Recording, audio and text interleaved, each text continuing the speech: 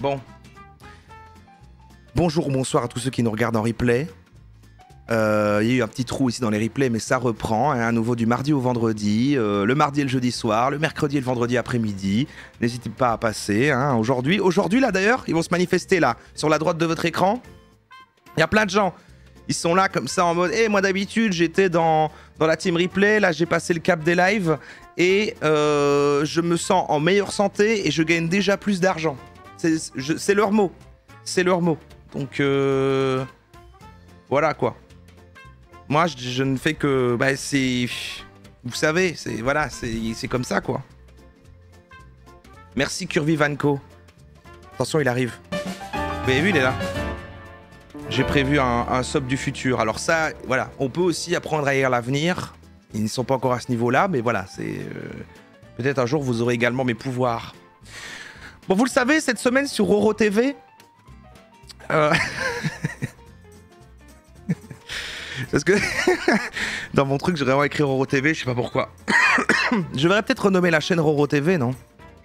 Franchement, euh, ça peut, ça peut... Roro TV, non?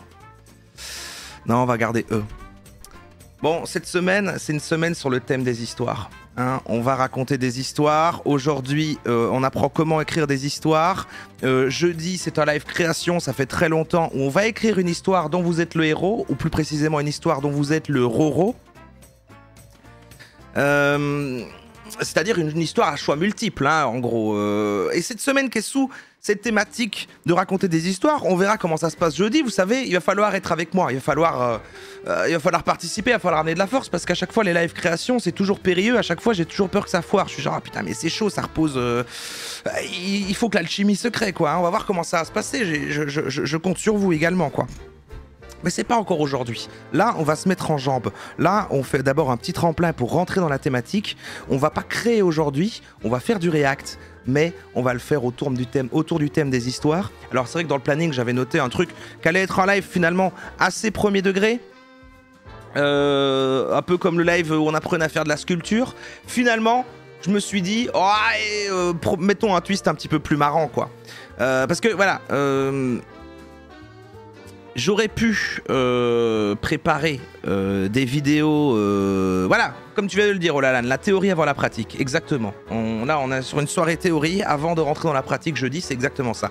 Et demain après-midi, pendant qu'on va à Stardew Valley, on peut déjà continuer à voilà à commencer à mettre ça en place. hein. C'est cool si jeudi on arrive avec l'idée, avec au moins le pitch. Peut-être même à la fin de ce live d'aujourd'hui, si on a au moins en une ligne quelle est l'histoire qu'on veut raconter.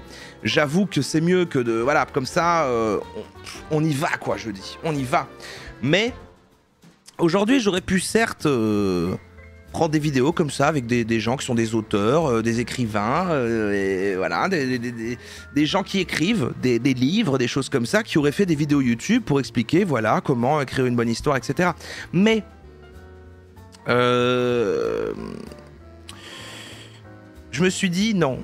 Le mieux, c'est plutôt d'écouter des coachs en business qui expliquent euh, comment, euh, comment on fait du storytelling pour euh, vendre davantage. Parce que je me dis que bon, le storytelling pour vendre, c'est mieux parce que des histoires qui permettent de booster son business, c'est obligatoirement mieux que des histoires bah, qui servent à rien, qui créent pas de valeur en fait, qui ne font que qui ne font que qu'être lus quoi. Donc je pense qu'ils ont plus raison. Je pense que je pense qu'il vaut mieux les, écouter eux pour qu'on puisse faire une bonne histoire après. Après, je suis pas sûr. hein.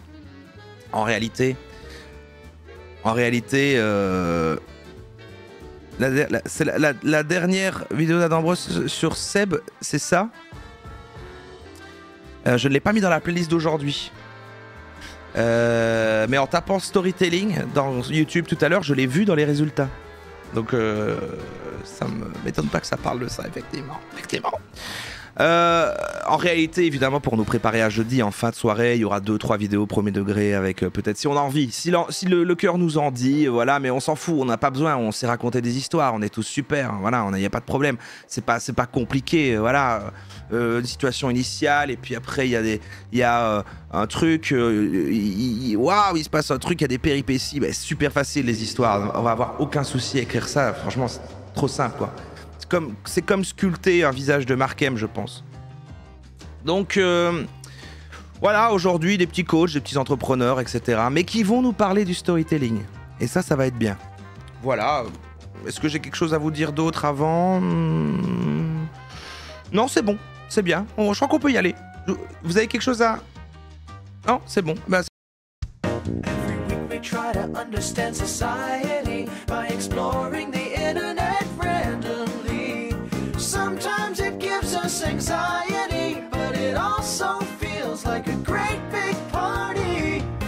tonight's topic is.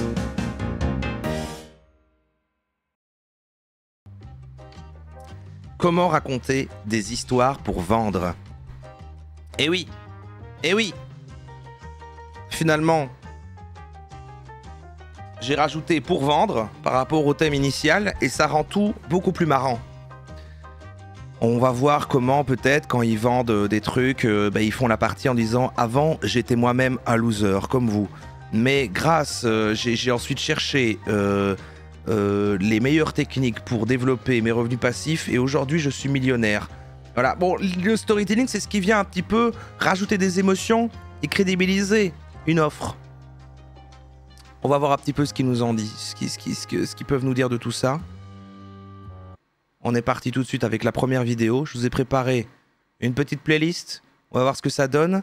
Et j'ai pas envie de vous teaser, j'ai pas envie. Voilà, je, je vous- spoil un peu, c'est un petit teasing, ça me fait plaisir. On n'est pas à l'abri de voir un petit Stan Leloup dans cette histoire.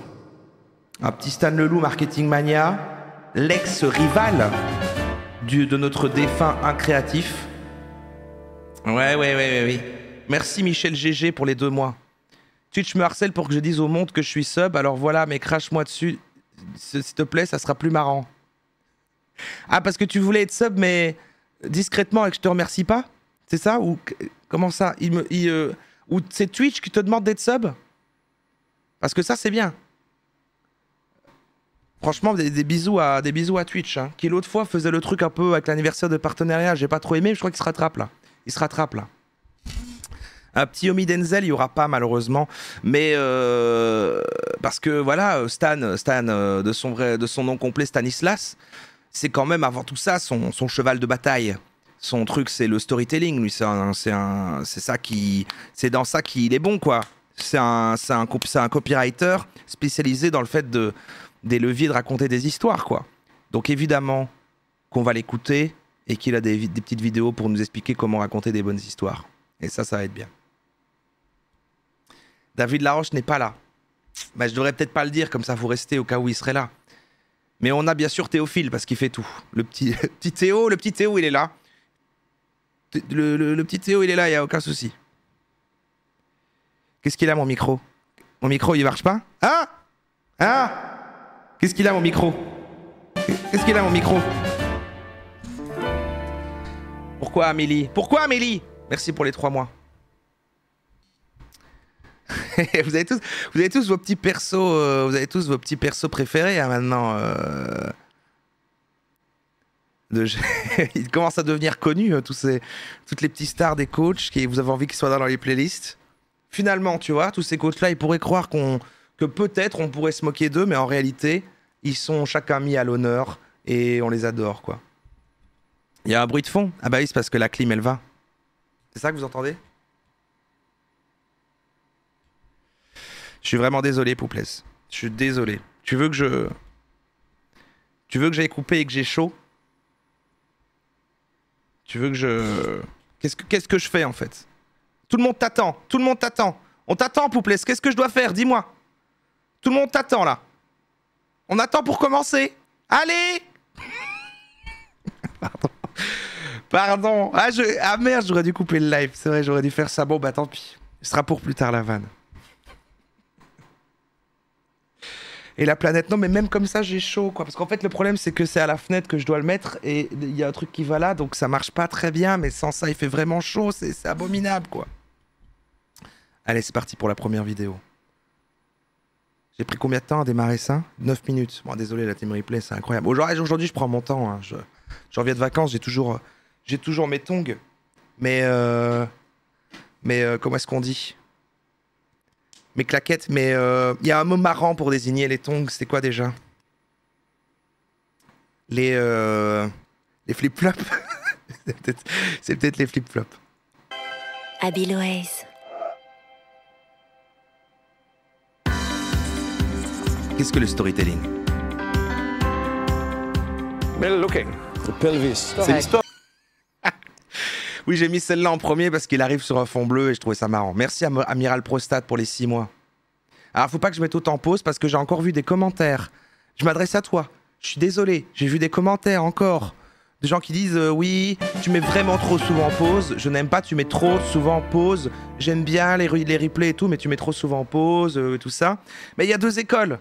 Il y a ceux qui vont préférer que je parle par-dessus et ceux qui préfèrent que je mette pause quand je parle. Peut-être il faudra un sondage. Mais euh, aussi, peut-être que je dois dire moins de choses. Mais ça, je contrôle pas. Je, je- c'est- je, je suis bavard, je suis bavard. Et puis sinon, j'ai l'impression de servir vraiment à rien. Déjà, déjà là, je- déjà là, quand je parle, j'ai l'impression de servir à rien. Alors imaginez. Imaginez si je disais rien, quoi. Et là, il y a un lion. Le premier réflexe en cas de danger, freeze. Merci Grossesse également pour les 5 mois et Lynn Grenadine pour les 8 mois. Grossesse qui dit t'es le meilleur, hein, par contre. Non, mais merci. Voilà, merci, merci. Ça, ça me fait plaisir, quoi. de Chuck Noland, un ingénieur de l'entreprise FedEx. Il est envoyé à travers le monde pour optimiser les temps de livraison. À la suite d'un problème dans un centre de distribution, il est appelé le soir de Noël pour régler la situation. Son avion décolle avant minuit, mais s'écrase au milieu du Pacifique. Tel Robinson Crusoe, Chuck réussit à survivre plus de 4 ans. Il cède des objets emballés dans les colis, échoués avec lui. Vous avez reconnu le synopsis du film Seul au monde, Ah oui, un véritable spot de pub pour FedEx. C'est ça le storytelling. Il y avait- C'était un- c'était une, sponsor, c'était une, c'était une sponsor euh, FedEx euh, dans Solo Monde. Une histoire au service d'un Genre, est-ce que, est-ce que, oui, c'est vrai?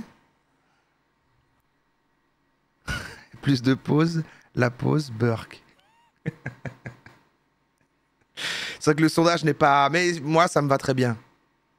Premier degré, oui. Oui, mais d'accord, un petit placement de produit. Mais moi, vous savez, moi, je, Solo Monde, je l'ai peut-être vu une fois euh, quand j'avais euh, 12 ans, j'en sais rien, moi, je me souviens pas, hein, je m'en souviens pas. hein. Déjà, en plus, c'est un film qui m'a fait fort bader. Ça me faisait fort bader, euh, il- parce qu'il avait son ballon à qui il a fait un visage, euh, parce qu'il a, il a pas d'amis là-bas, personne à qui parler, et parce qu'il est loin de la civilisation. Et moi, et moi j'étais enfant, et je me suis dit, putain, moi je fais pareil, mais alors qu'il y a des gens autour de moi, quoi. Ah, Merci Ornito. Merci Ornito pour les 5 mois. du coup, ça m'avait fait bader. Je fais donc c'est comme si j'étais échoué sur une île. euh, Qu'est-ce qui se passe? Merci le tatou divin pour les deux mois. non mais oui, c'est sûrement un super film. Mais euh, il y a, ouais, ok. un message. Non, mais parce que là, c'est plus qu'un placement de produit.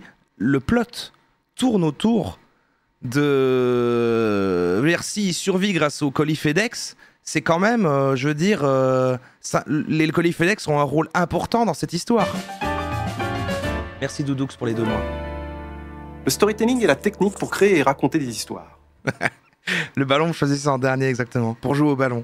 Un outil applicable pratiquement à tous les formats de communication. Discours, pitch, site internet, publicité ou keynote. C'est- Vous avez vu à quoi sert le storytelling? C'est un art ancestral, peaufiné par des millions d'auteurs avant nous. Mais d'où vient-il?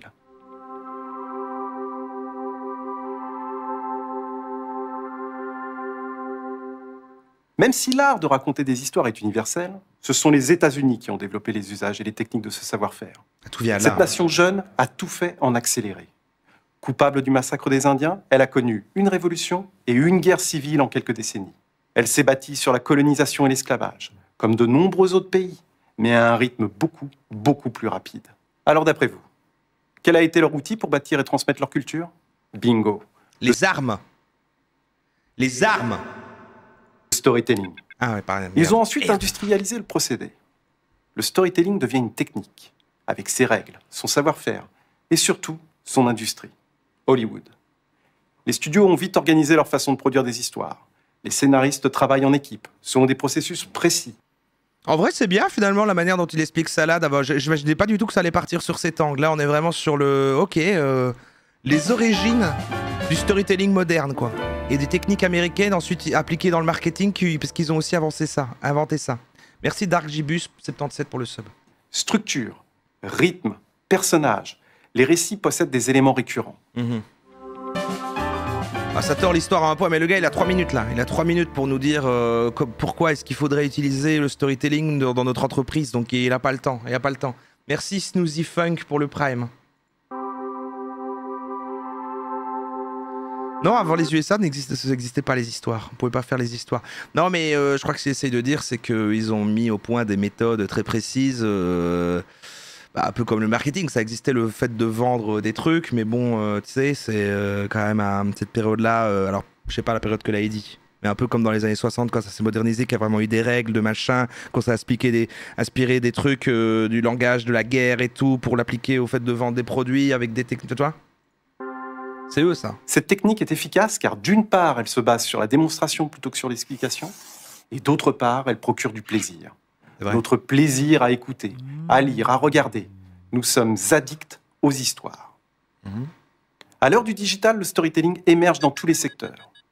Au-delà d'Hollywood, il est devenu À l'heure du digital. un moyen pour capter l'attention et pour transmettre de l'information. En France, il est arrivé avec la communication politique. Du coup, le terme a longtemps eu une connotation péjorative, associée à la manipulation et à l'endoctrinement. À l'heure de l'économie de l'attention, le storytelling n'est plus synonyme d'intox, mais de qualité. Il est devenu un terme à la mode, dont tout le monde se réclame. Les marques, les journalistes, les politiques. Si nous savons vous raconter une histoire, c'est qu'on ne se moque pas de vous. Faites-nous confiance, notre produit ou notre service en vaut la peine. Je fais pas confiance. On a tous des histoires qui ont Wow. bercé notre enfance, ou qui nous ont marqués. L'histoire d'un film, d'une personne. il a une pièce toute bleue chez lui et une pièce toute jaune. Pour vous familiariser avec le storytelling, je vous invite à décrypter plusieurs histoires. Ouais. Commencez à rassembler et à classer d'une manière instinctive celles que vous aimez entendre. Mhm. Essayez ensuite de repérer les éléments qui vous semblent récurrents.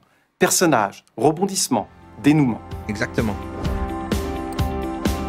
Le storytelling est l'art de créer et de raconter des histoires. Le storytelling a été théorisé et industrialisé par les Américains. Et le storytelling se fonde sur la démonstration et il procure du plaisir.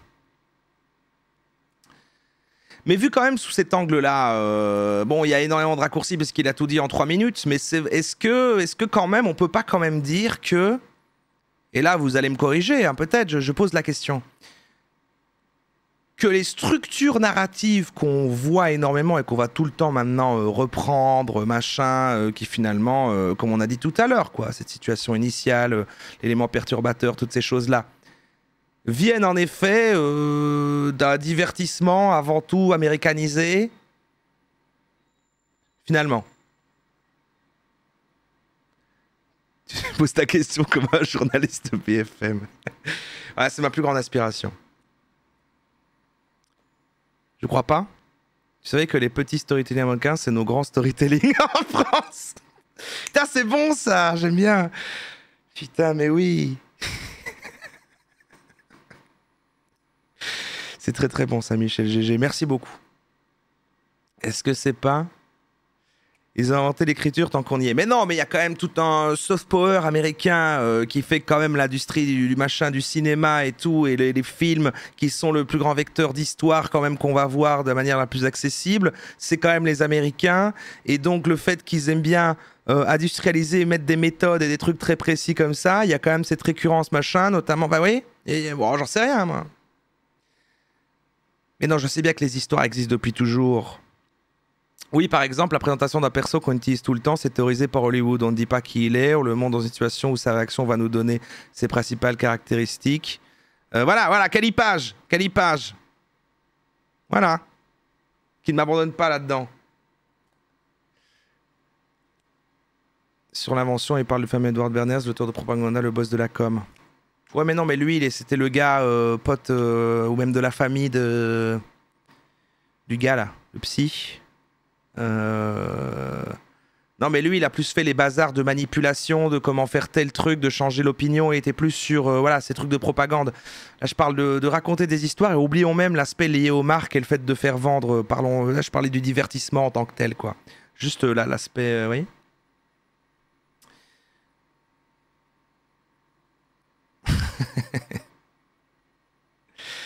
No joke, c'est mon sujet de recherche. Il y a une grosse source. C'est le héros aux mille visages. Oui, mais, oui, mais c'est ça. Non, mais c'est ça ce soir, on va entendre parler du massacre de Joseph Campbell. Mais voilà, oui. Rien, que par ça, rien que parce que en fait les grandes histoires qu'on connaît de toutes les licences machin, euh, bon en gros c'est tout le temps euh, ce bazar là quoi.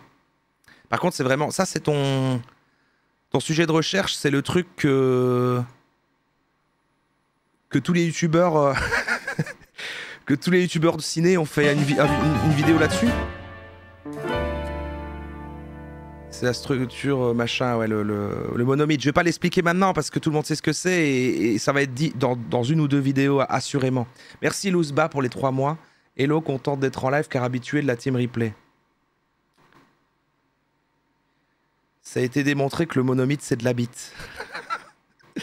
Il semblait qu'une étude avait prouvé qu'on pouvait adapter n'importe quel modèle à n'importe quelle histoire, donc c'était pas relevant.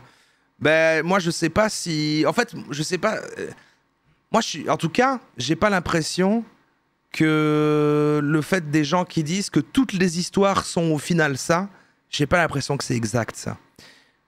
Mais que par contre, à partir de ce canevas-là, tu peux faire énormément d'histoires et qu'en effet, euh, plein de grosses licences euh,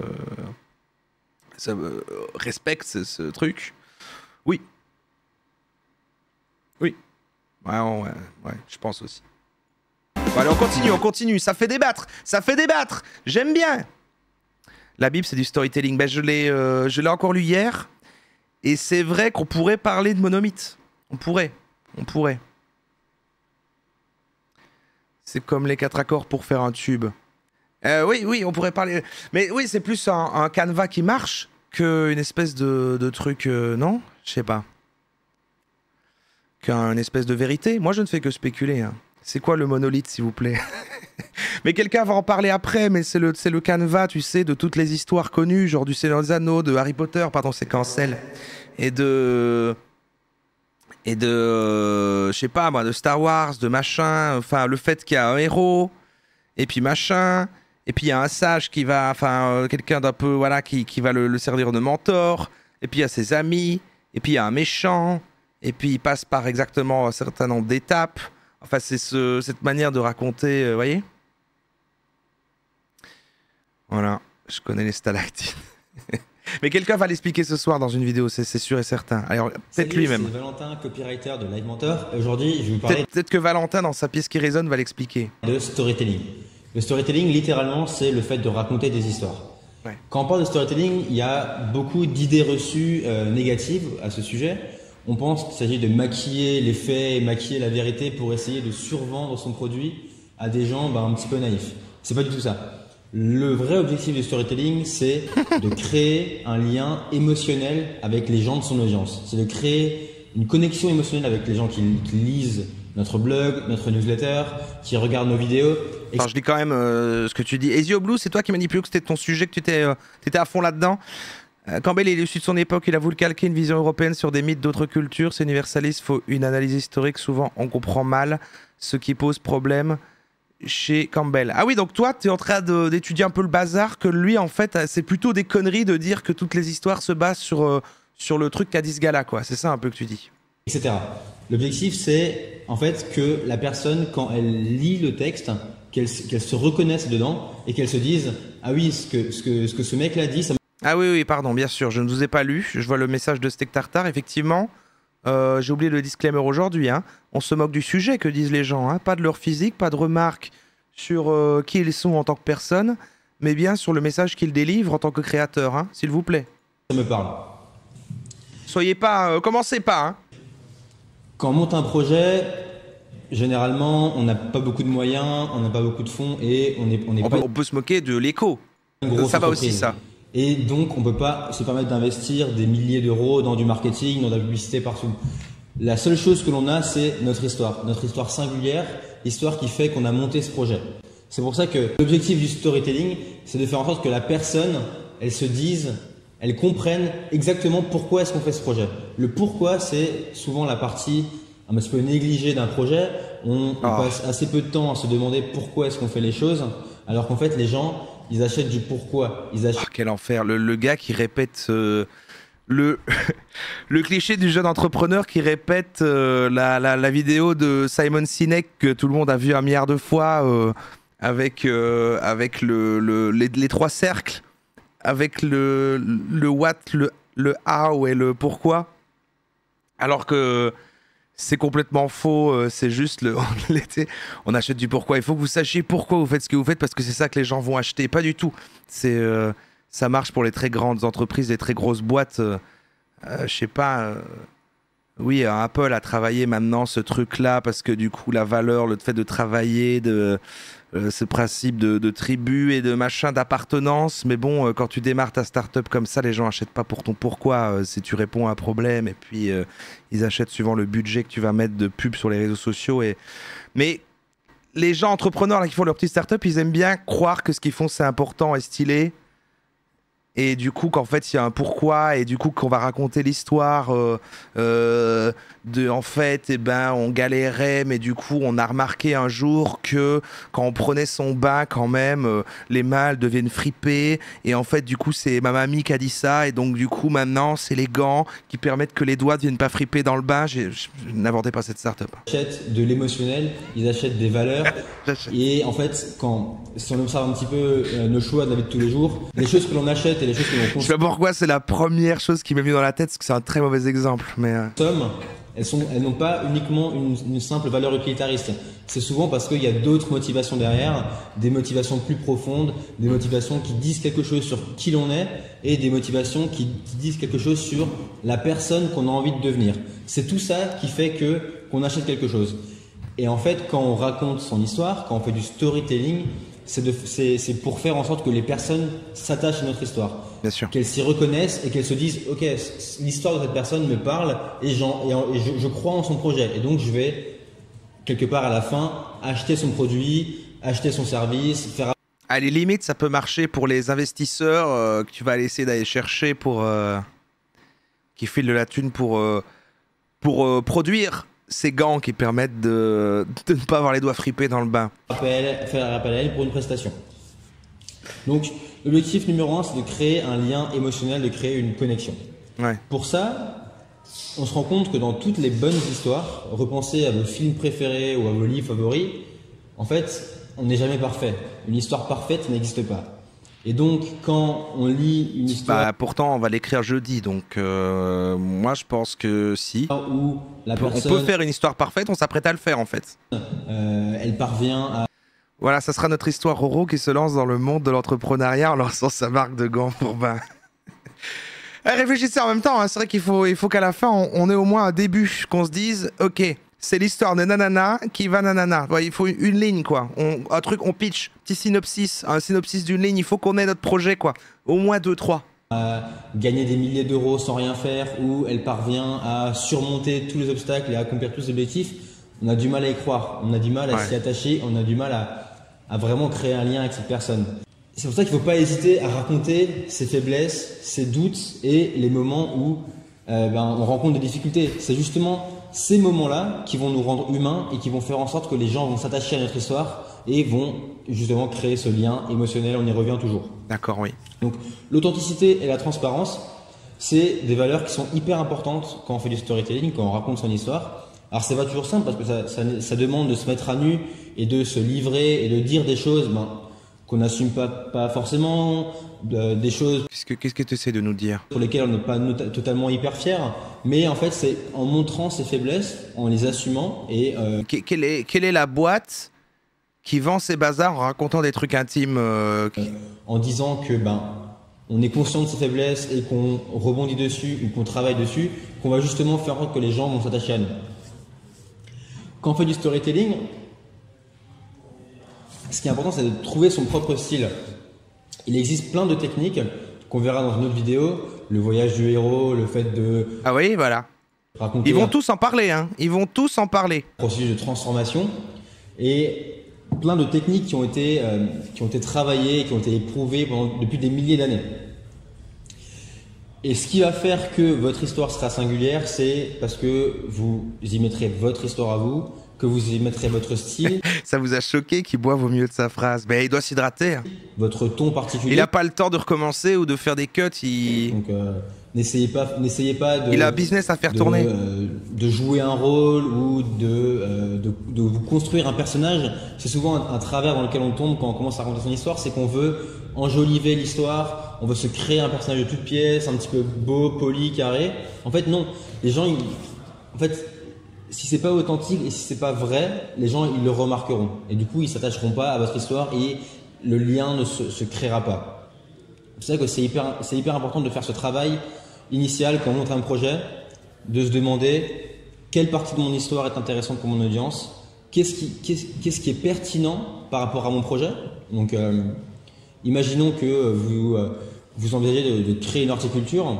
Si votre famille est également horticole depuis des centaines, des centaines d'années, bah en fait, c'est, une super histoire. Vous perpétuez la tradition, vous maintenez cet héritage familial et vous, vous gardez ce rapport à la terre et à la tradition. Donc ça, vous pouvez le dire. Mhm. D'accord. Si vous euh, Oui, oui, un peu de background, créez une entreprise suite à une grosse difficulté que vous avez rencontrée dans votre vie, pareil, c'est super intéressant à dire, c'est super important à dire, parce que la personne sentira que vous êtes légitime pour faire ce projet. Elle aura confiance en vous. Donc voilà, si on récapitule, l'objectif du storytelling, c'est de créer un lien émotionnel avec la personne. Ouais. Pour ça, il faut raconter son histoire de manière honnête, Mais si vous dites tout ça, pourquoi ça n'existe pas les marques qui le font vraiment en fait les, les- les entrepreneurs là.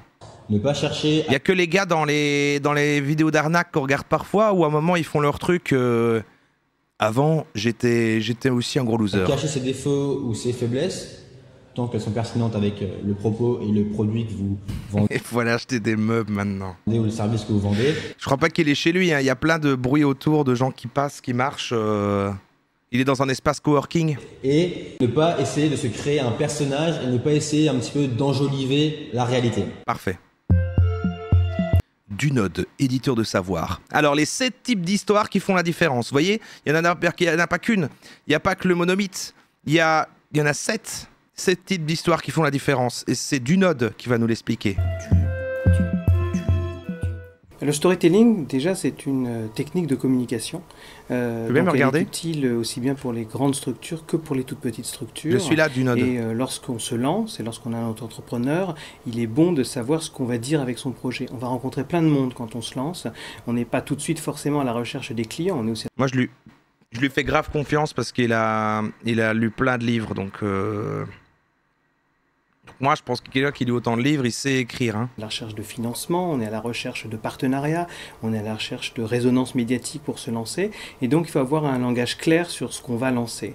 Et une des techniques pour y arriver, c'est d'utiliser le storytelling, c'est-à-dire de se dire, non pas simplement j'arrive en expliquant ce qui mon produit. Ah, je sais pas, je sais pas que qui regarde derrière moi là, mais je surveille, mais je, je sais pas qui regarde. Lorsque vous vous adressez à des financiers, c'est pas c'est pas la seule chose qui va les intéresser. Votre produit, il est peut-être complexe à expliquer. Donc, c'est quelle histoire je peux raconter pour euh, mieux raconter mon produit, pour mieux vendre mon produit, mais aussi pour mieux me vendre moi.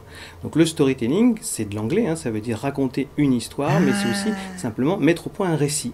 Et le récit a prouvé depuis euh, des millénaires maintenant euh, son utilité pour faire passer des messages. Alors, on utilisait des récits euh, pour convaincre C'est vrai, ça t'est ouf le feed. Ah merde, il est là. les gens. euh, Je peux même pas orienter le, de- le- le truc vers lui en plus. Ah, c'est la pub. C'est la publicité. Est-ce que la pub euh, que vous voyez en ce moment, euh, elle a du storytelling? Est-ce que la marque raconte une histoire là en ce moment? Est-ce que ça raconte euh, des belles histoires? Ah oui, mais vous m'entendez pas et ceux qui m'entendent euh, ne voient pas la pub, ouais. Ah, je vous redemanderai dans 8 secondes. Ouais. 5. 4. Il reste 3 secondes là, je crois. C'est pratique maintenant qu'ils affichent. C'est bien ça. Je trouve ça pas mal. Et on est de retour ici après cette petite page de pub. Euh, je vais euh, vous demander peut-être dans ces publicités, est-ce qu'il y avait du storytelling? Est-ce que est-ce qu'il y avait une belle histoire? Est-ce que est-ce que vous avez vu un bon exemple d'histoire là? Pas tuer leurs enfants, hein, c'est l'origine des contes de fées. On utilise Et on est de retour sur Euro TV après cette petite page de pub. Nous étions en train d'analyser le storytelling. Je faire comme le ça. récit pour expliquer pourquoi il faut obéir au chef et pas tenter de se révolter. Les religions, les pouvoirs politiques ont utilisé ce genre de récit. Et donc les entreprises aussi racontent des récits. Alors quand on pense au storytelling, on pense bien sûr aux cas les plus euh, emblématiques de grandes entreprises qui ont réussi en ne vendant pas un produit mais en racontant une histoire. Si je vous dis Apple, si je vous dis Coca-Cola, si je vous dis Disney, vous pensez plus souvent à tout ce que ça vous apporte. On amène ses enfants dans un parc comme Disneyland pour revivre les émotions qu'on a vécues soi-même enfant et les faire partager à nos enfants, et pas simplement pour dire je vais faire des manèges et qui vont me coûter tant d'euros pour la journée. Oui, ok. Non, mais moi, pour moi, c'est pas lié à l'histoire, c'est pas lié au storytelling. Ça, c'est juste l'émotionnel euh, créé autour, parce qu'il y a alors, euh, il y a alors Disney, euh, voilà quoi. Mais ça ne me, ça ne me convainc pas. C'est pas la même chose. Bien, ces recettes-là qui fonctionnent, ou quand on J'ai l'impression qu'on va encore avoir ce truc de plus on va creuser, plus on va voir que leur manière euh, de parler de storytelling, les, entrepreneurs là, euh, ça représente rien en fait. C'est juste essayer de mettre des. Ce qu'ils appellent storytelling, ça va être juste essayer de mettre des émotions dans leur bazar euh, froid on vend des trucs de merde. Merci Persiflette pour les 5 mois. pense à Apple, euh, on, a- on- on entre dans un club euh, dont on parle de la beauté des produits, dont on parle des couleurs, dont on parle de- du standing que ça vous donne vis-à-vis de, de- de votre entourage, et non pas presque jamais des Le lore, c'est storytelling. Oui, non, mais je veux dire, euh, c'est pas euh, l'histoire de Disney, c'est parce qu'il y a des licences de divertissement dedans, auxquelles tu t'accroches. Enfin, les, les histoires sont plutôt dans ce qu'ils produisent.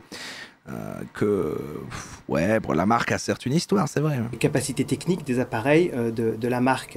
Eh bien, ces recettes-là, qui ont fonctionné pour des très grandes entreprises, il faut aussi se rappeler qu'elles ont commencé en étant des toutes petites entreprises. hein. Apple a été fondé dans un garage, euh, Walt Disney a inventé Mickey dans un train, et lui aussi, il a dessiné Mickey dans, dans le garage de son oncle.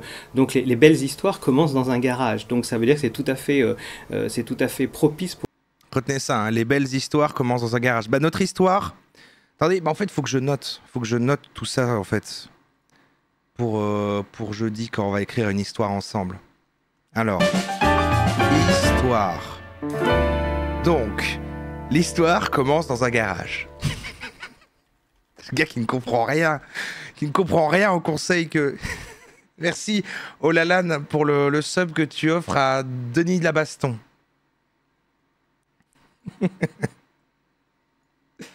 Et qu'est-ce qu'il a dit d'autre aussi tout à l'heure? Euh, Le personnage n'est pas parfait. Et il y a un monolithe. Et il y a un monolithe. Voilà.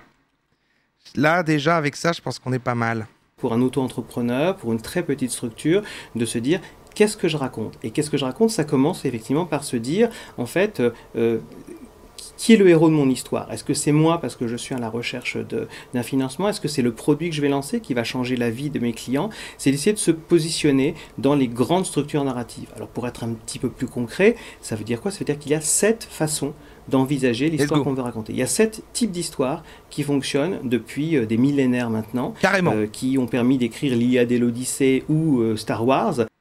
Ah oui, d'accord.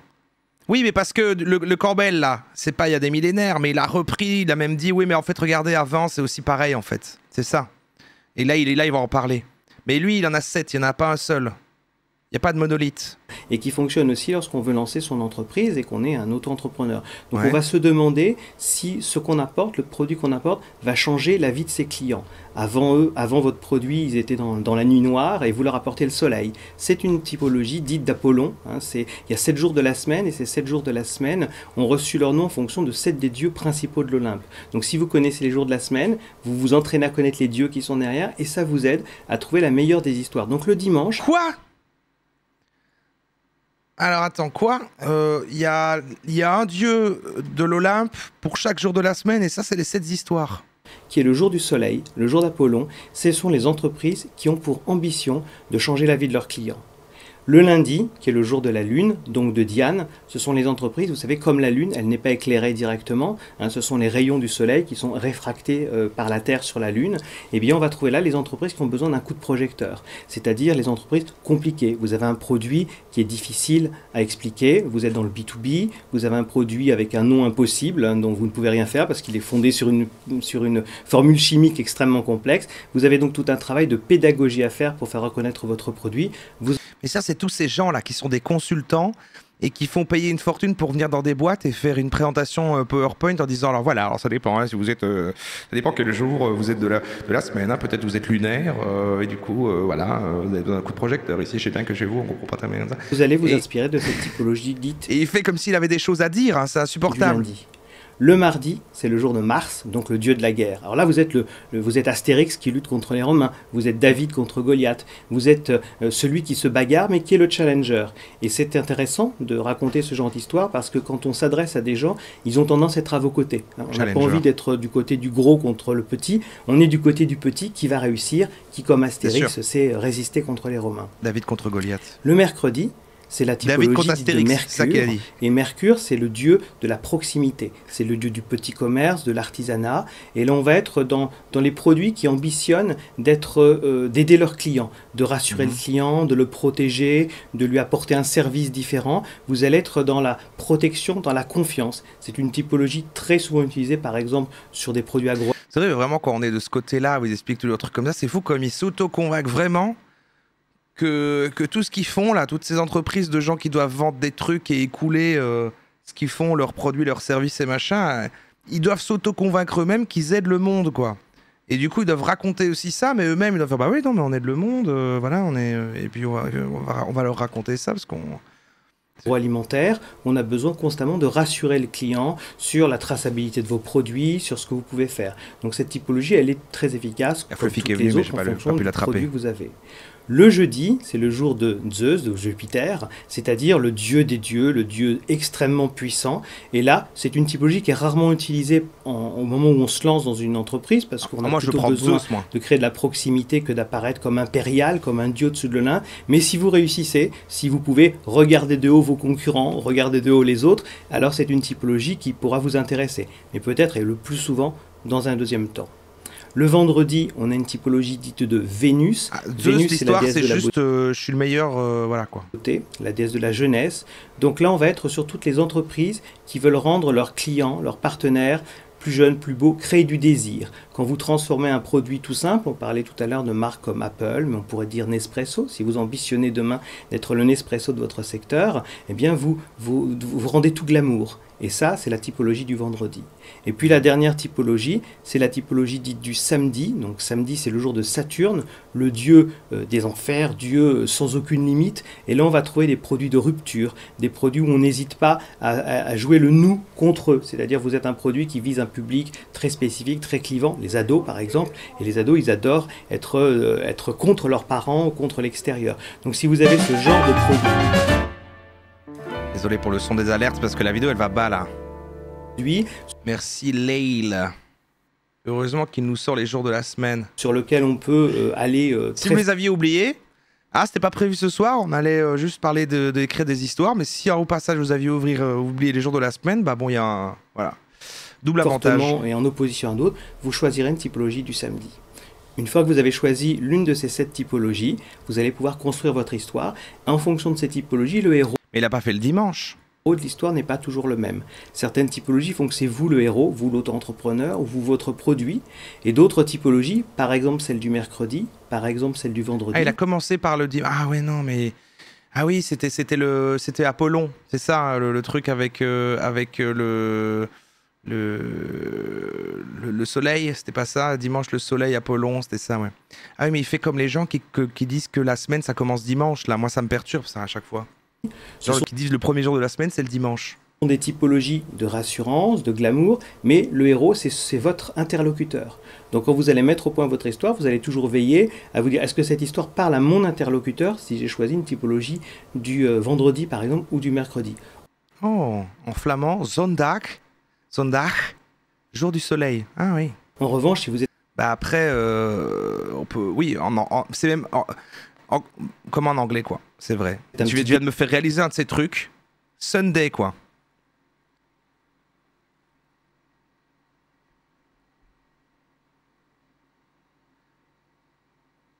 Et Saturday viendrait de, de Saturne Et en fait, Monday, c'est parce que Moon. Et, et en fait, c'est tous les planètes et les trucs, euh, c'est les jours de la semaine, comme les.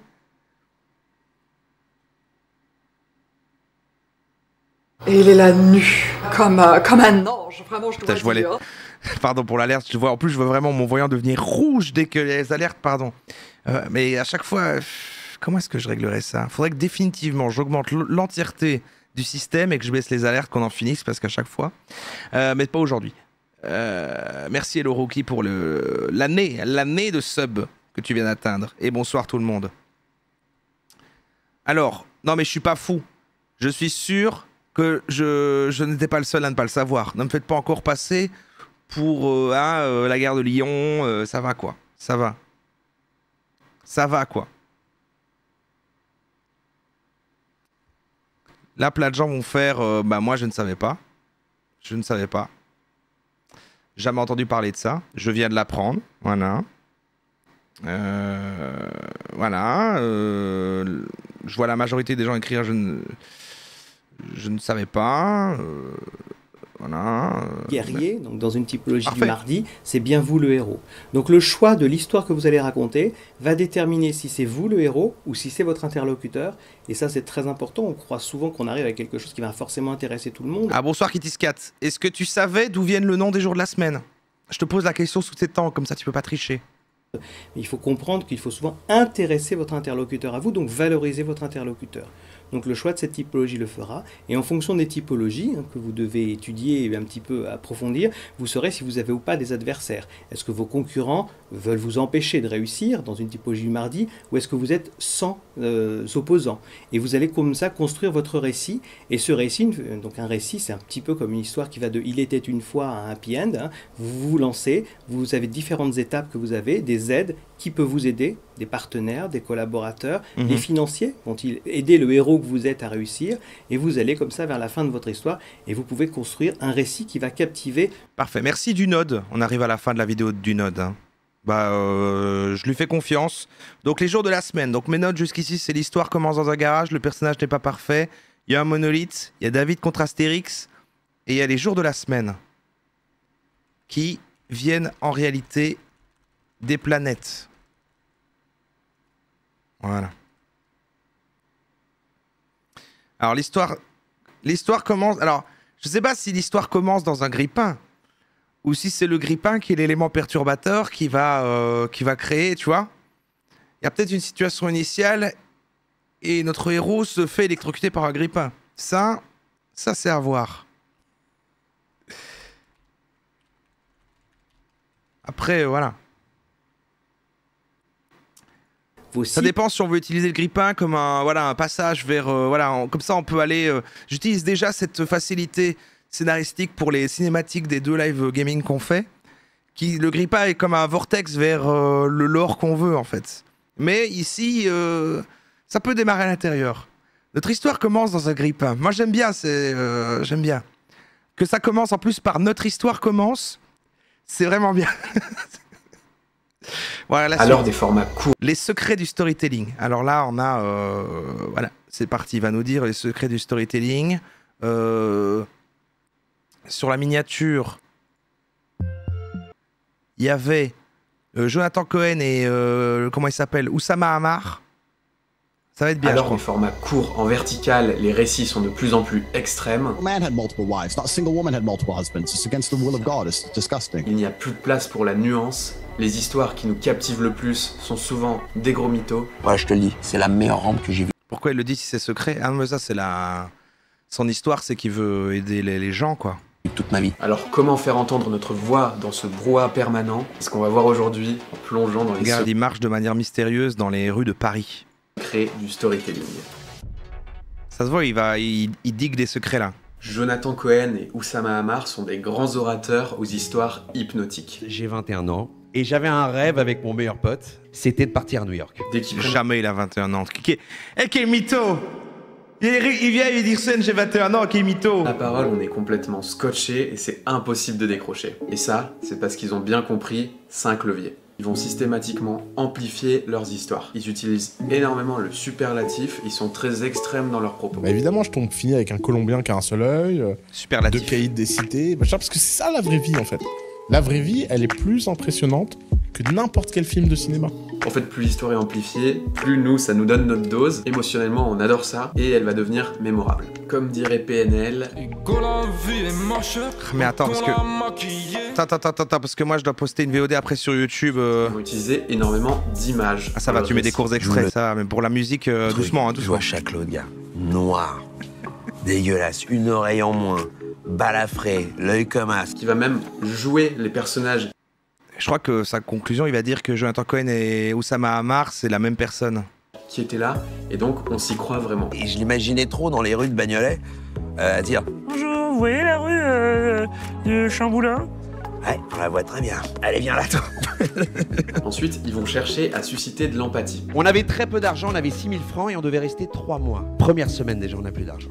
On va dans le centre, on demande pour chercher du travail, tout ça. Les gars nous rient au nez, ils nous disent Mais les gars, on est au mois de juillet, c'est pas du tout la saison, il n'y a pas de taf. Et donc là, on se retrouve, ok, d'accord, ok. Donc tout ce chemin pour absolument rien.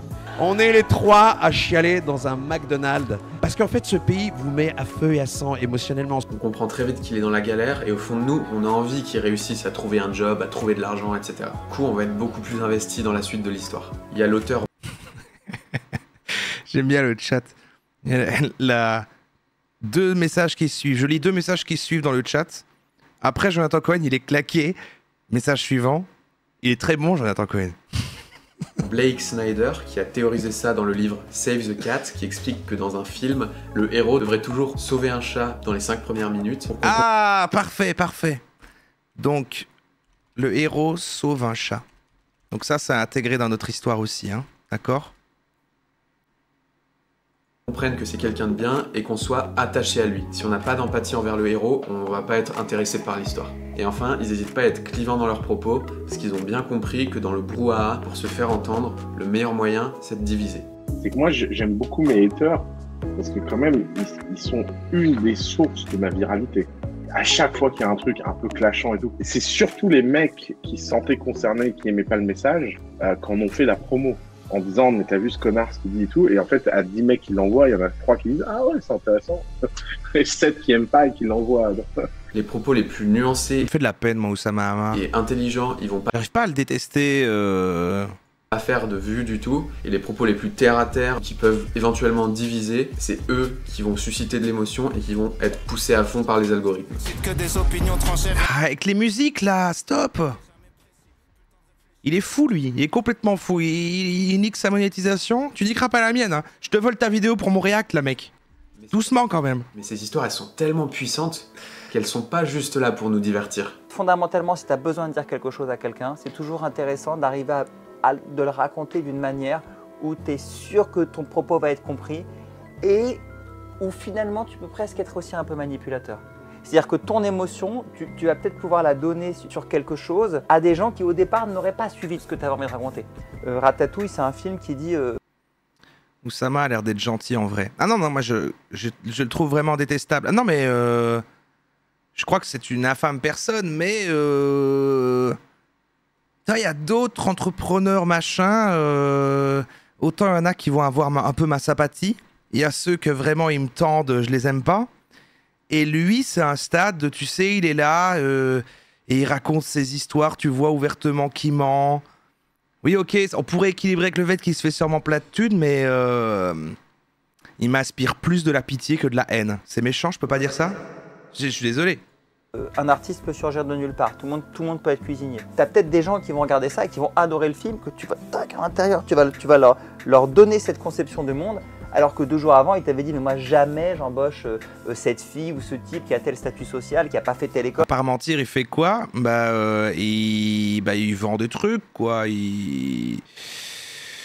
Il fait des trucs, c'est un entrepreneur, quoi. Il va, il fait des conférences, il raconte n'importe quoi et euh, il se la pète en inventant des fausses histoires. Et puis, euh, je sais pas, il vend des bazars, il fait des. J'en sais rien, moi. Il vend des formations, il fait du dropshipping.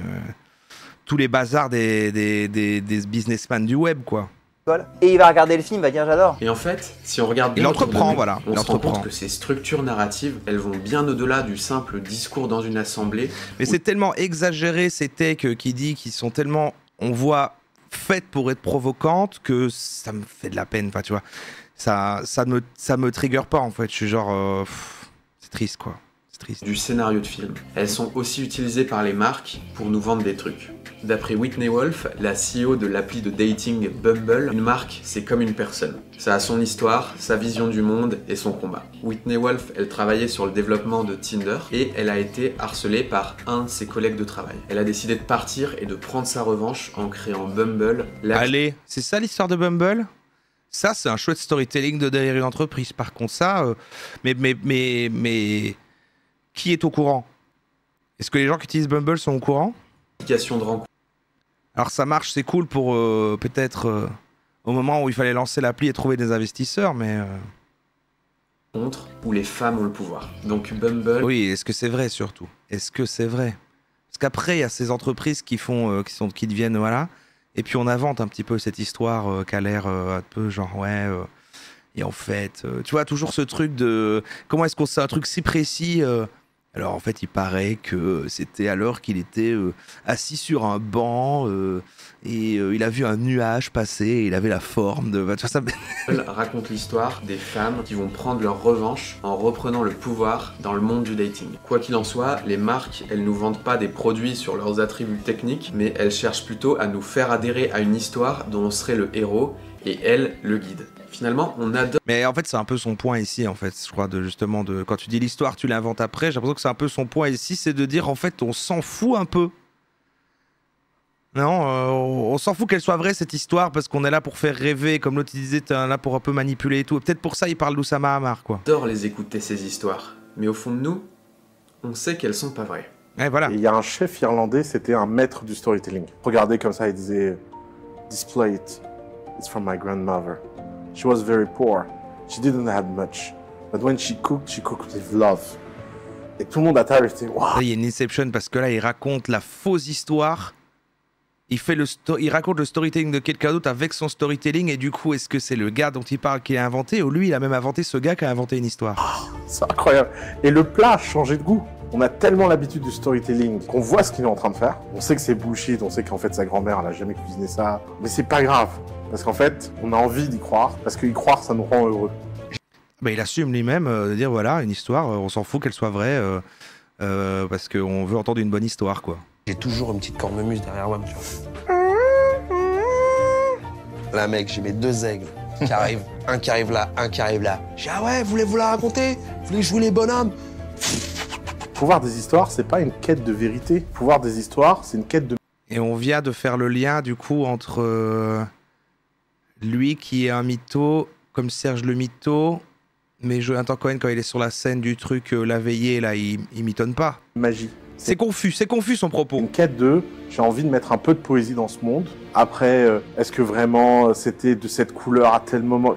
S'en fout de tout ça en fait. On veut une bonne histoire. On nous vend du bonheur à profusion sur Instagram, du succès sur LinkedIn, une vie en rose dans les publicités. Mais est-ce que la réalité ne serait pas beaucoup plus grise? Peut-être. Mais au fond, est-ce qu'on a vraiment envie de dire à nos enfants C'est lui aussi qui fait ça, il fait plein de plans de lui-même en train de marcher dans des espaces. que le Père Noël n'existe pas Est-ce qu'on a vraiment envie Ah oui, c'est lui. de sortir de la matrice I know this steak doesn't exist. I know that when I put it in my mouth, the matrix is telling my brain. Ah oui, on that préfère entendre des trucs faux parce que c'est des bonnes histoires que d'entendre les vraies histoires parce que la vraie vie c'est pas très intéressant. C'est à nous de le décider. Quoi J'entends, soit, le j'entends. storytelling, c'est un outil super puissant pour le Mais pour ça, il y a les fictions. Le problème, c'est quand quelqu'un raconte une anecdote, je pense pas que ça fait plaisir. On n'a pas envie d'entendre quelqu'un qui raconte ça comme une histoire vraie et qu'elle est fausse. Hein. euh, je- meilleur comme pour le pire. C'est pas la même chose Écoutons que- les histoires pour nous inspirer, mais au fond de nous, quand ça va mal, n'oublions pas que tout ça, c'est peut-être du vent. Merci d'avoir regardé cette vidéo jusqu'au bout. Au moins, c'était une, par contre, c'était une vidéo bien produite. Là, il a mis de, la- il a mis de la mission, de l'émotion, il a mis de l'effet. hein. Il y avait des images d'illustration, euh, des extraits, de la musique, euh, de l'épicness, des plans de lui qui marche dans la rue à la montagne. C'était une super vidéo. On pourra pas lui enlever ça. Bravo, beau travail. Mais, euh, je vais mettre dans mes notes, il faut mentir. Ouais, il faut mentir.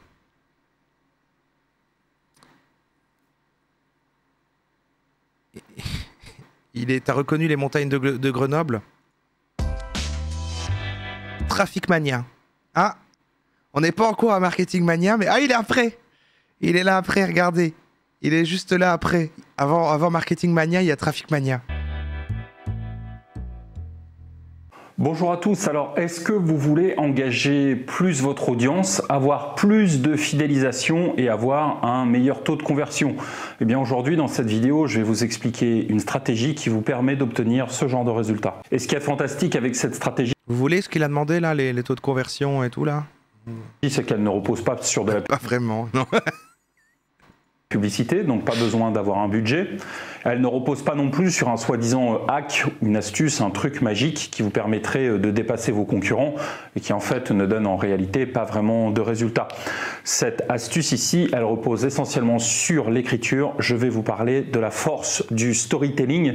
Je vais vous expliquer ce que c'est, mais surtout concrètement, je vais vous expliquer comment faire pour intégrer du storytelling dans votre prochain article et ainsi avoir un article Dans nos articles article qui engage plus, qui vous Les articles de blog différencie de Ça aussi, il y a le truc trop bizarre avec les, euh, les, les entrepreneurs sur Internet. là. De... C'est-à-dire, à notre époque, là maintenant, ils parlent de blog.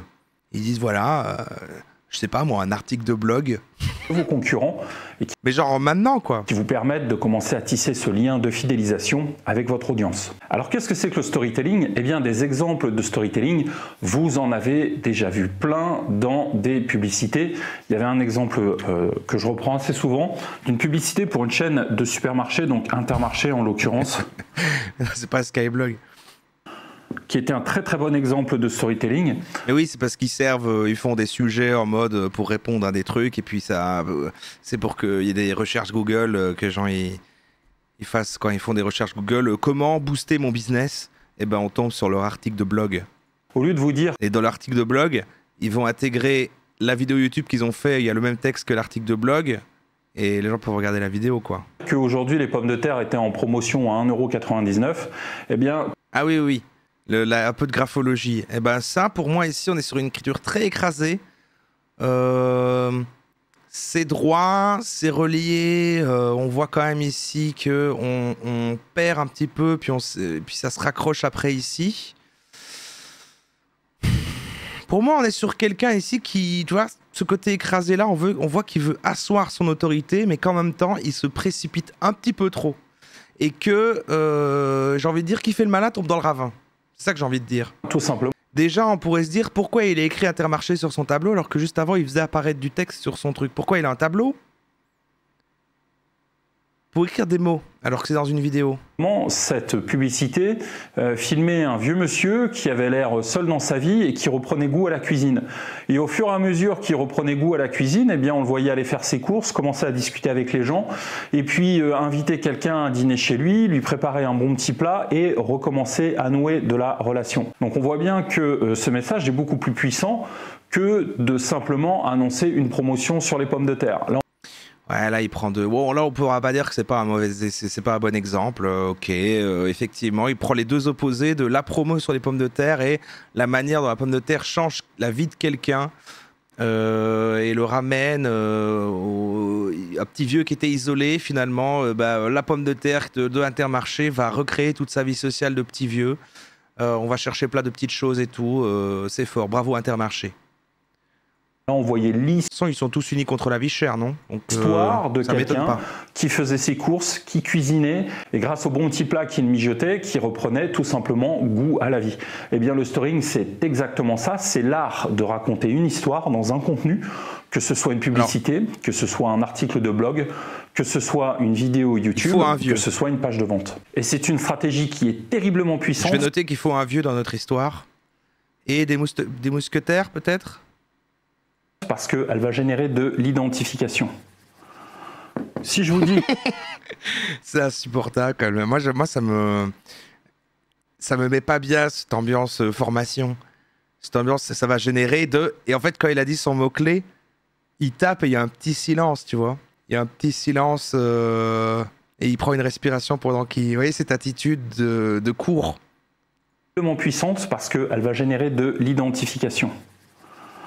Si je vous dis que les pommes de terre sont à 1,99€, vous avez simplement une information qui Ah ouais, non, mais là, on est sur. euh, ouais, ouais, ça, c'est tremblant. Là, on, on voit qu'en fait, il a trop fait le malin dans la première partie. Il a essayé d'asseoir son autorité, il avait pas le temps.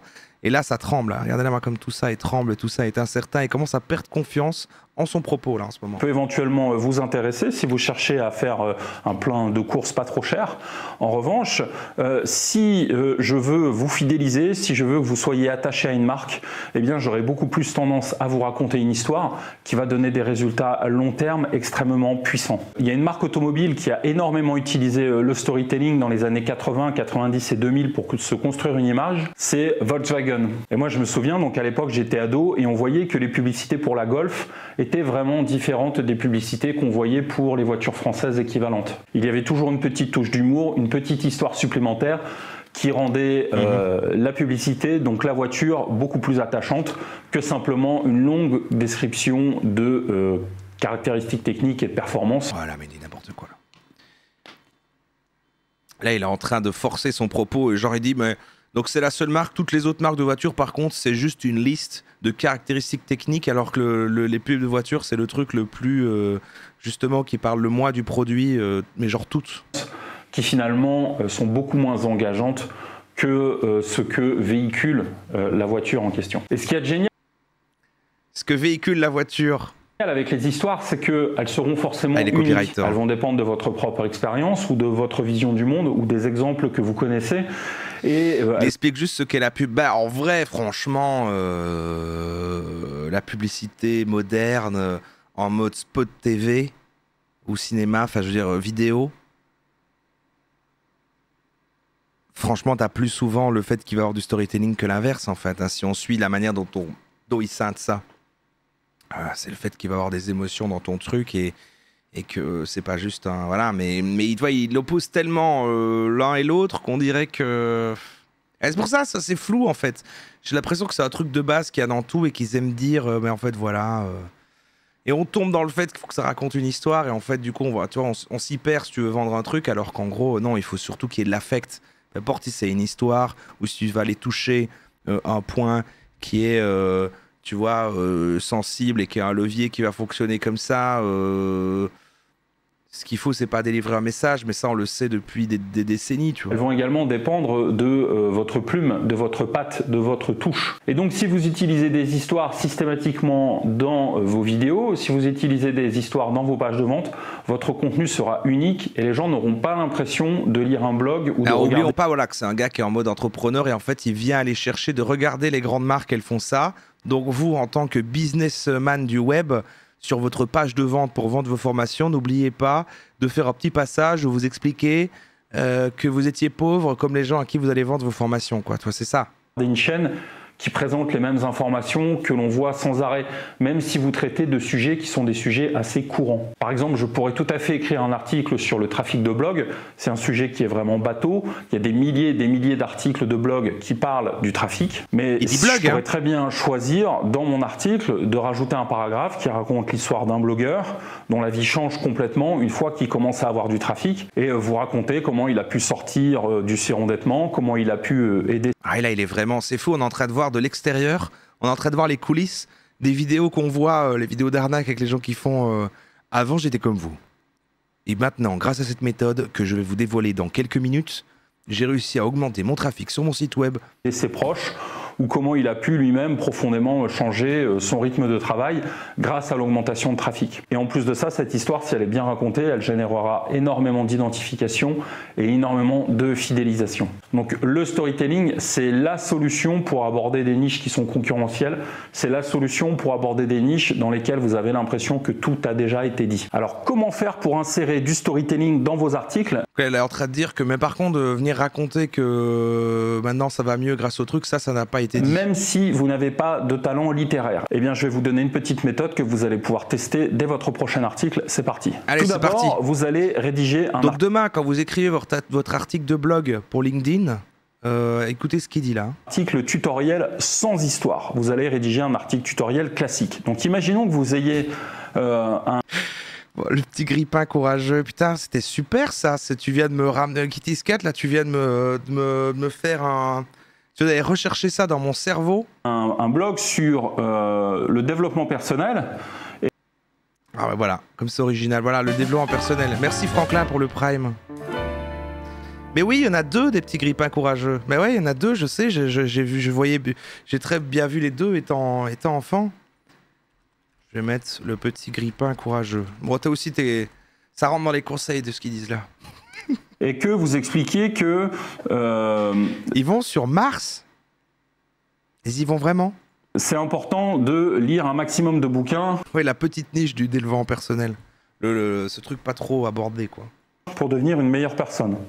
Et vous choisissez d'écrire un, un article sur comment lire deux fois plus vite. Alors on voit bien que ça pourrait être un article qui est traité euh, sur un blog de développement personnel, mais ça pourrait être aussi un article qui est traité dans une thématique euh, étudiante. Quelqu'un par exemple qui veut passer sa première année de médecine, vous avez un blog qui est vraiment dédié à aider les étudiants en médecine.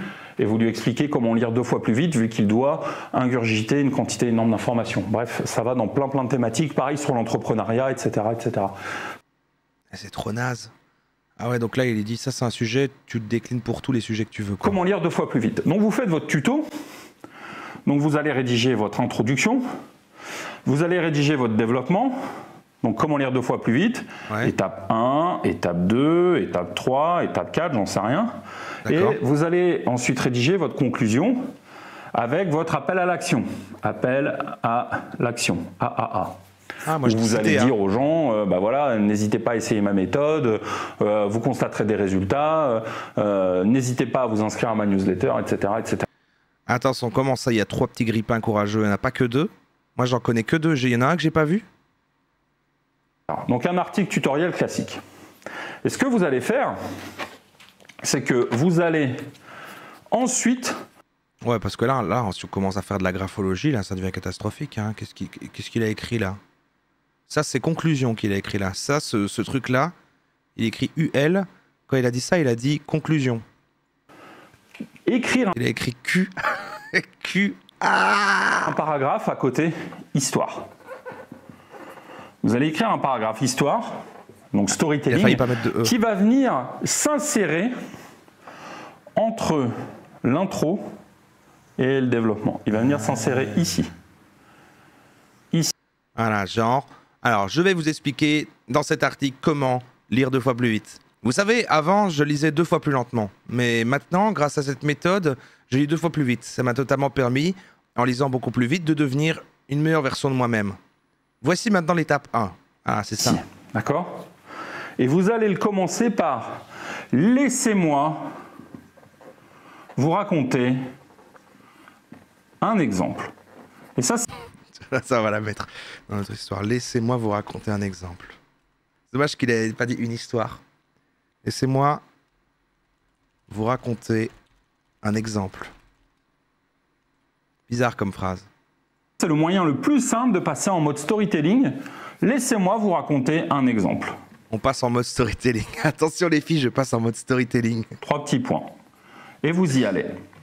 Et vous y allez. Et donc, vous avez plusieurs moyens de raconter euh, cet exemple.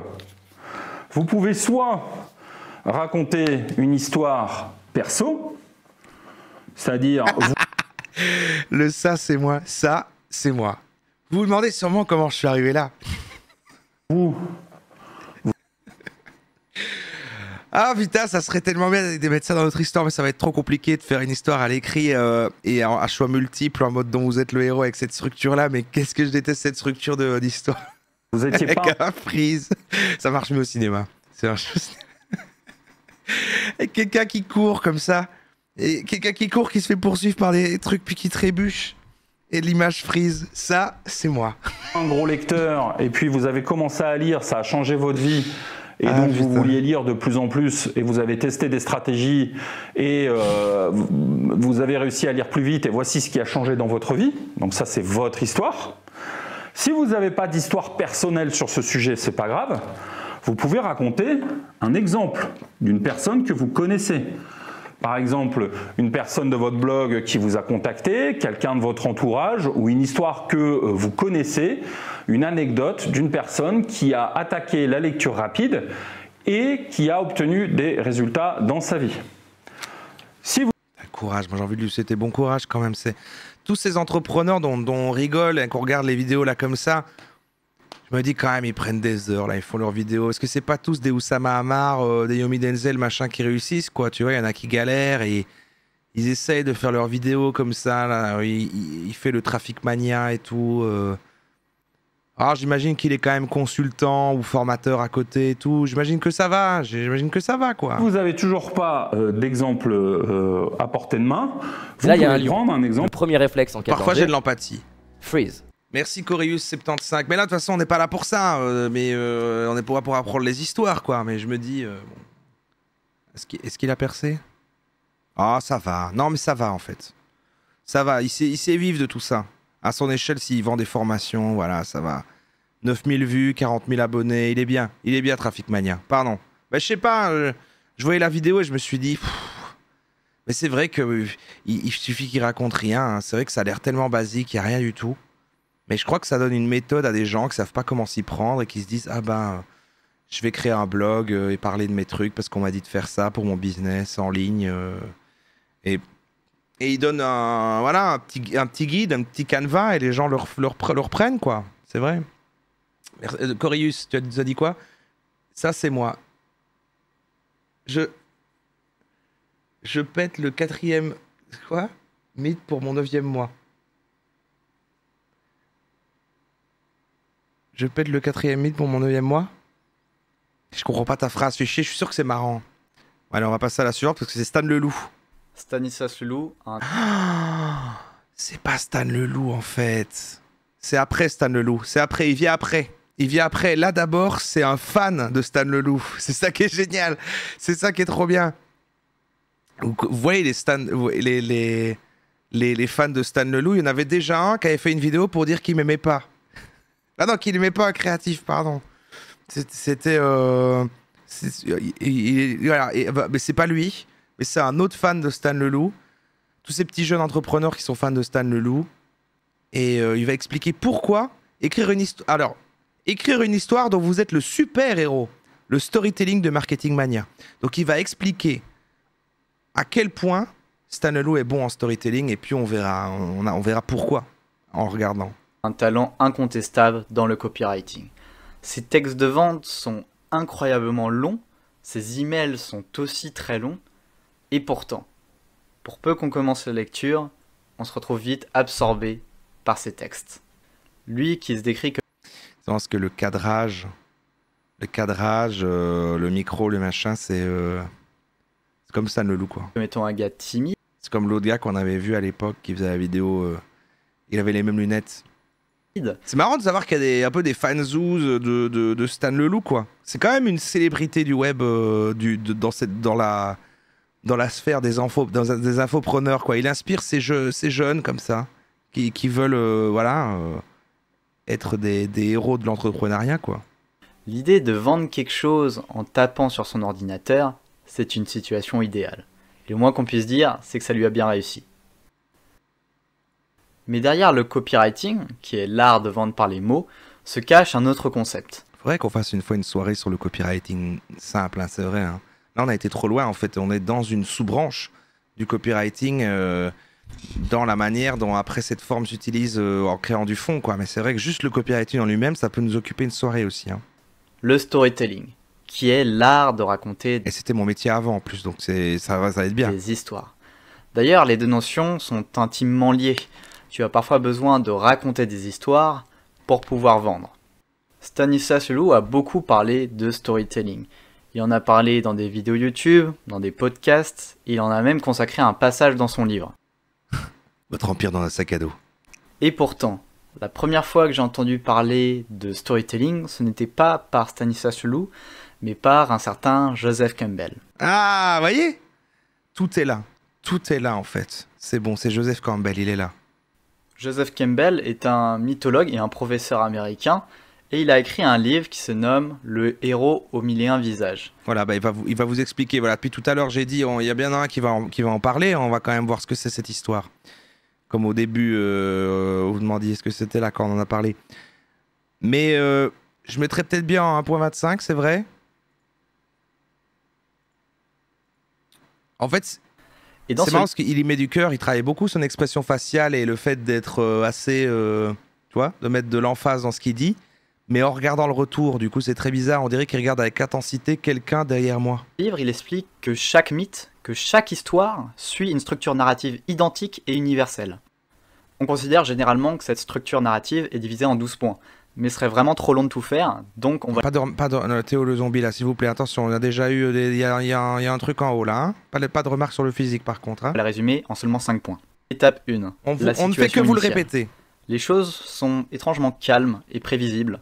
On assiste à la routine du héros. Étape 2. L'élément déclencheur. Excellent le Spider-Man de Sam Raimi, incroyable. La situation bascule soudainement. Le meilleur Spider-Man à mes yeux. C'est pas le sujet. Un événement fait que notre héros doit maintenant partir à l'aventure. Il a à présent une mission, une quête à résoudre. Étape 3. La quête. Le héros rencontre Il a dit quête. ses premiers méchants et il doit faire face à de nombreux retournements de situation. Il oscille entre la victoire et la défaite. Ah, mais dans le. Et il doit faire face à de nombreux retournements de situation. Il oscille entre la victoire Mais bon. Dans cette scène, il y a une vanne homophobe. Mais. Quand même le meilleur. euh, victoire et la défaite. Il oscille entre l'excitation et le désarroi. Étape 4, la victoire. C'est la victoire du héros lors d'un final épique avec le super méchant. Étape 5, le retour. Le héros retourne chez lui, mais il n'est plus tout à fait le même. Mhm. Il a mûri, il a grandi. Ah oui. Ses aventures lui ont appris une Le leçon. héros en ressort Vous l'aurez remarqué, mais une histoire n'est jamais quelque chose de linéaire. Une histoire a des variations. Le héros peut très bien se trouver dans les tréfonds du désespoir, ou alors connaître son plus grand moment de gloire. Et ça, c'est ce que Stan Leloup a voulu démontrer. Le héros part d'un point A. Des Il connaît rebondissements, hauts, quoi. Il connaît des bas. Et au final, il arrive à un point B. C'est même plus, c'est même plus Joseph Campbell, c'est Stan Leloup qui a inventé les histoires. C'est pas les Américains, c'est pas Joseph Campbell, c'est c'est Stan Leloup qui a inventé les histoires. C'est lui. Et généralement, ce point B est préférable au point A. Stan Leloup.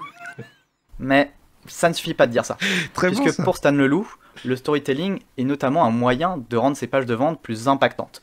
Donc, d'augmenter ses ventes. Alors comment diable est-ce qu'on peut utiliser une histoire pour vendre quelque chose? Eh bien, il y a deux solutions très simples. La première solution intervient si Stan considère que le héros, c'est lui. Dans ce cas, il raconte simplement son histoire personnelle. Il explique comment il a fait pour passer de ce fameux point A au point B. Moi, je crois que Stan considère que le héros, c'est lui. Et il finira en disant un truc du genre Si je l'ai fait, pourquoi pas vous? Alors, Classique. cette solution est sans doute efficace. Si je l'ai fait, mais pourquoi je la pas vous extrêmement cliché. Si je l'ai fait, pourquoi pas vous Le grand classique, effectivement, des entrepreneurs sur le web. Surtout dans d'autres domaines, comme ceux euh, du développement personnel et de la séduction. Tu sais, il y a beaucoup de coachs en développement personnel, Elle a dit quoi là? Développement personnel et séduction? Comme ceux euh, du développement personnel et de la séduction. Tu sais, il y a beaucoup de coachs en développement personnel qui vont te dire qu'avant, c'était des mecs timides, c'était des mecs peu à l'aise socialement. C'est pas le mec de la dernière fois? C'est pas celui qui, qui parle un peu comme ça? Qui parle. Ah, je sais pas bien le faire. Qui. euh, Ah, un peu pas comme ça là. Et là, je suis là pour te donner un conseil. Ah, je le fais plus bien, mais il était. Ah, je Faudrait que je le réentende pour l'imiter, mais il avait une diction tellement particulière. Et qu'on disait qu'il avait, il avait une vibe euh, de, de- un peu de gourou de secte. C'était avec. euh, C'était quelle thématique qu'on a fait récemment où il était là? C'était ah le voyage. C'était le voyage. C'était le voyage. La thématique sur le voyage. pas très bons avec les filles, et que maintenant, eh bien, ils sont capables de parler devant 1000 personnes et ils peuvent sortir avec des 9 sur 10. Ça a été tellement fait et refait que maintenant plus personne n'y croit vraiment. Et quoi, les chats, vous sortez avec des 9 sur 10 La deuxième solution, ce serait de dire que le héros, c'est vous, que le héros, c'est le prospect. Et c'est justement le parti qu'a pris Stanislas Leloup. Finalement, au lieu de par- 9 sur 10. Mais on oublie, on n'oublie pas. C'est vrai que mais là, il a, il, a, il a introduit, il a dit euh, développement personnel ou séduction. Puis séduction, on voit à chaque fois, on voit les rapprochements, à chaque fois les trucs, euh, la manière dont il, il gère les mêmes leviers, le même sujet de marketing avec euh, la séduction et tout. Je le rappelle, je le rappelle à chaque fois. Pardon Stan, mais à la base, Stan Leloup, avant d'être le héros du storytelling, il a quand même commencé sa carrière sur Internet avec du contenu axé sur la séduction. parler de Alors c'est dur à trouver maintenant. Moi, je l'ai jamais retrouvé. lui, de Mais il le dit lui. lui-même. Il dit ah moi j'ai commencé par là. Stan va parler de nous. Il va d'abord présenter le problème du client, Il va bien appuyer dessus, puis il va présenter la solution à ce problème, qui est un Bah si, si. Ah si, si, je vous jure. Stan le loup dans la bergerie. Il a un background comme un vrai héros, exactement. Attendez, je vais vous retrouver juste un truc. Genre... euh, Stan le loup, séduction.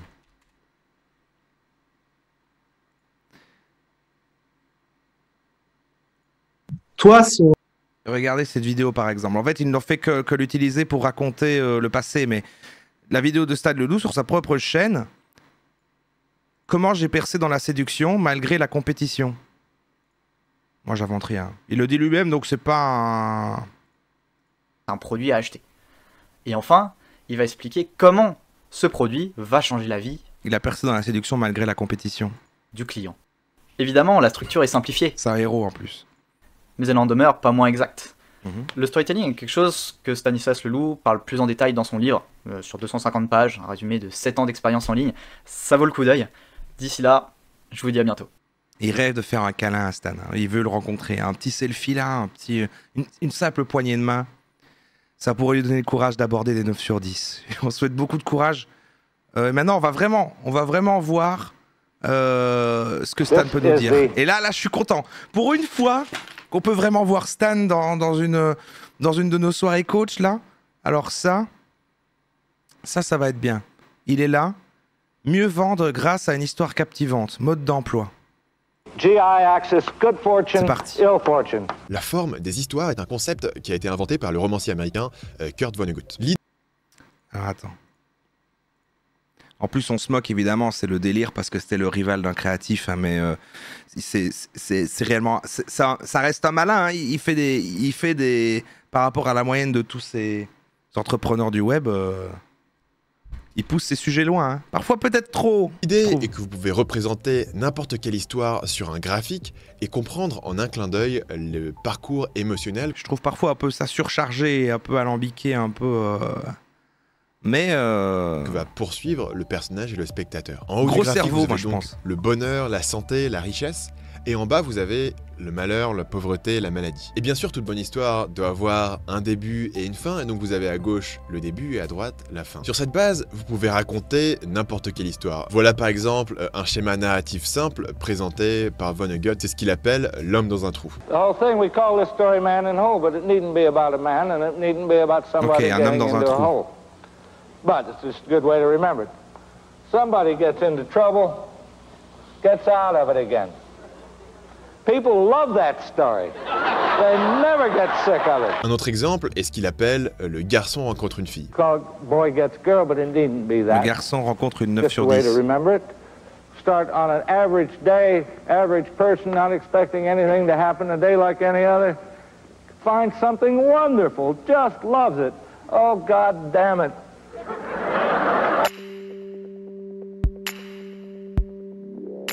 Ces schémas narratifs sont universels. Ils se retrouvent dans les mythes de toutes les cultures, dans les romans du XVIIIe siècle, dans les jeux vidéo, dans les films hollywoodiens actuels, et j'en passe. À ce stade, on a d'ailleurs de bonnes raisons de penser que ces schémas narratifs que vous voyez là euh, sont en fait ancrés dans l'ADN des êtres humains, et c'est pour ça qu'ils fonctionnent dans toutes les cultures et toutes les époques. Quoi qu'il en soit, une chose est claire. C'est en- en- les, les histoires, c'est dans l'ADN. C'est que si vous voulez que votre prospect écoute votre message, vous avez intérêt à le structurer euh, d'une façon qui soit reconnaissable. Ouais, genre c'est la vie. Moi, c'est un peu comme je me dis souvent. euh, Et là, il y a un lion. Le premier réflexe en cas de danger, Freeze. C'est exactement ce que je me dis. Je me dis freeze. Merci Eli VVM pour les 8 mois. Bientôt un mois que je peux pas suivre des streams ou de VOD. Je passe brièvement uniquement pour voir Stan, évidemment. Bisous. Ah, bah, tu peux plus suivre. euh, bah, c'est qu'est-ce qui se passe? Même les VOD. Eh bah alors?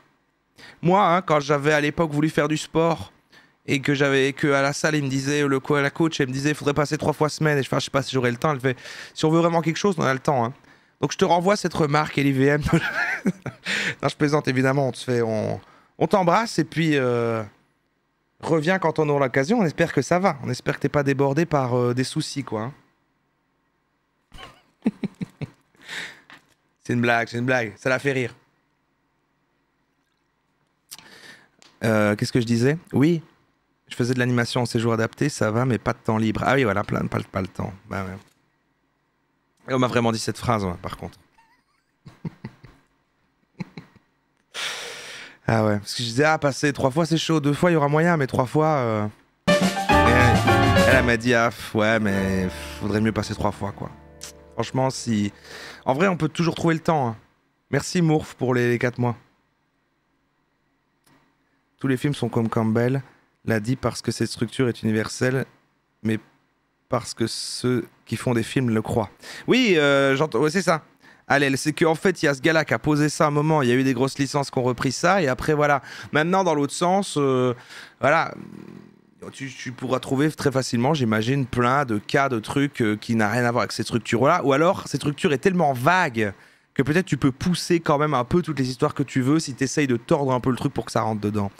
Mais par contre, ce qu'il dit là sur le fait, euh, machin, les malheurs, le trou et machin, eh ben, euh, c'est réel parce que moi, je me sers souvent de ça dans la vie. Quand je me dis, bon, il arrive un truc chiant, je me dis, oui, mais au moins, c'est une bonne histoire. Parce que c'est vrai que, bon, c'est des péripéties. C'est juste des péripéties dans la vie, quoi. Tu vois, euh, quand tout se passe bien, si tout se passe bien tout le temps, c'est pas très intéressant à raconter, quoi. Si tout se passe bien tout le temps, que t'es chill, que tout se passe bien tout le temps, bon, finalement, euh, il y aurait pas de série là-dessus.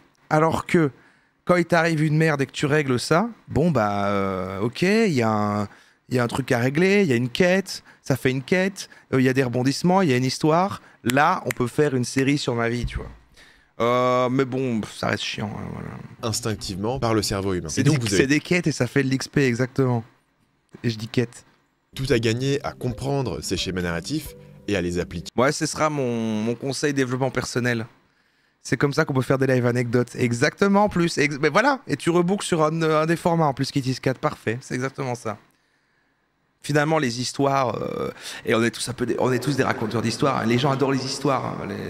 C'est avant tout, euh, c'est ça. Qui, les gens adorent les histoires, quoi. Euh, créatif d'ailleurs, quand il faisait ses vidéos, à un moment, quand il s'est dit, je vais plutôt raconter les, histoires des marques et faire une bonne histoire que je rac- raconter, bah forcément, ça, ça, a plu encore plus, quoi. Parce que les gens adorent les histoires, en fait. Les gens adorent les histoires. Depuis la nuit des temps, les gens, ils racontent des histoires, quoi. Dans vos messages marketing. Par exemple, dans une de mes vidéos précédentes, je vous parlais de la page de vente pour Tu peux aussi être dépressif et qu'il se passe rien, même si- mais le truc est négatif. Oui, oui, c'est vrai. Mais libre à toi. Voilà, de sortir dehors. euh, Ouais, il faut quand même savoir se lever. Non, c'est vrai, c'est vrai. Mais tu vois.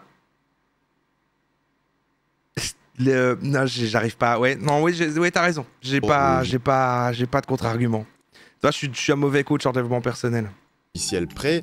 Je vous mettrai d'ailleurs le lien ici si vous voulez aller voir la vidéo en entier. Et le gros de cette page était une histoire. C'était l'histoire du copywriter qui rentrait chez lui un beau jour et découvrait qu'il avait été cambriolé qu'on lui avait volé tous ses ordinateurs. Et à la suite de cet événement, eh bien, il allait découvrir le logiciel prêt qui était euh, essentiellement une solution que vous pouvez installer sur vos ordinateurs et en cas où vous les faites voler, vous allez pouvoir géolocaliser vos appareils et éventuellement pouvoir les récupérer. Voilà à quoi ressemble cette histoire si on la dessine sur le fameux graphique de Von Gutt. Dans l'histoire du logiciel prêt, le héros commence, il est assez content, tout va bien, il rentre chez lui et d'un coup il découvre qu'il s'est fait cambrioler. Découvre qu'il s'est fait cambrioler, il appelle la police, la police ne peut pas l'aider, il descend, il descend, il descend. Il découvre non seulement que euh, la police ne peut pas l'aider, mais qu'en plus euh, il n'a aucune chance de récupérer ses appareils. Et donc il est désespéré, il voudrait se venger, mais il n'a pas de solution. Et là, il va commencer d'abord par acheter un ordinateur, mais surtout, il va découvrir le logiciel prêt.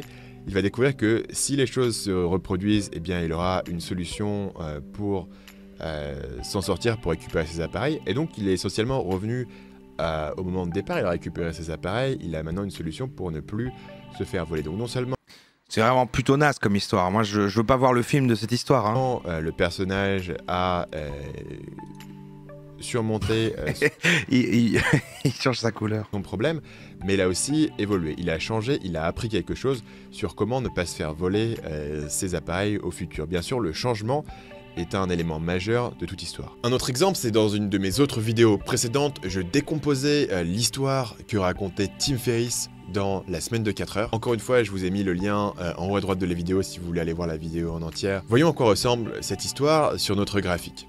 Ah oui, la semaine de 4 heures. Tim Ferriss ne C'est des trucs où les gens travaillent moins là. commence pas très bien parce qu'au début on apprend qu'il a des mal Ah oui, pardon. C'est la publicité. Il y a une histoire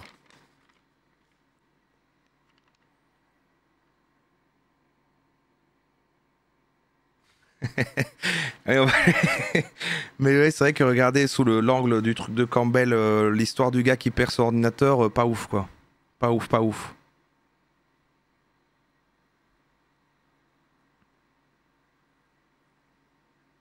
formation physique quand il naît, mais au fur et à mesure, il va avoir commencé à avoir des succès, son premier boulot, euh, il commence à être réussir à intégrer Princeton. Il a un premier business qui est un échec, mais il a un deuxième business qui est plutôt un bon succès. Juste noter Princeton dans les notes. Jusqu'à euh, l'événement euh, dramatique qu'il appelle. J'aimerais bien que dans l'histoire qu'on va écrire, à un moment on aille à Princeton, si ça, si ça vous va. Je trouve ça bien.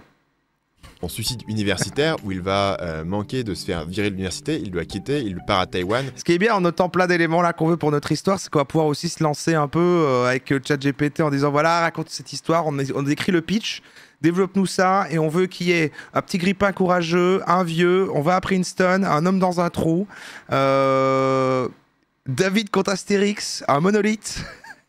monter une salle de sport qui ne fonctionne pas, mais au fur et à mesure, il va encore une fois retrouver des petits boulots et s'en sortir, jusqu'à finalement rentrer aux USA, par force de persévérance, choper un boulot dans une start-up et mettre les pieds dans l'univers de la Silicon Valley. Malheureusement, il découvre rapidement qu'il est euh, surmené, qu'il est en plus très mal payé, il est aussi mal payé que la secrétaire, et donc il décide de lancer son propre business, et sur ce, il se fait rapidement Pas comme la secrétaire. non viré. Heureusement, il a une lueur d'espoir, son business commence à fonctionner, mais il travaille encore plus qu'avant, il travaille 7 jours sur 7, sa vie est devenue un enfer. Au plus bas, il va prendre une décision au tout pour le tout, il va euh, décider de- d'automatiser son business, de partir en Europe, et tout d'un coup, il découvre qu'il peut travailler uniquement une heure par semaine, voyager autant qu'il veut, et toujours gagner autant d'argent.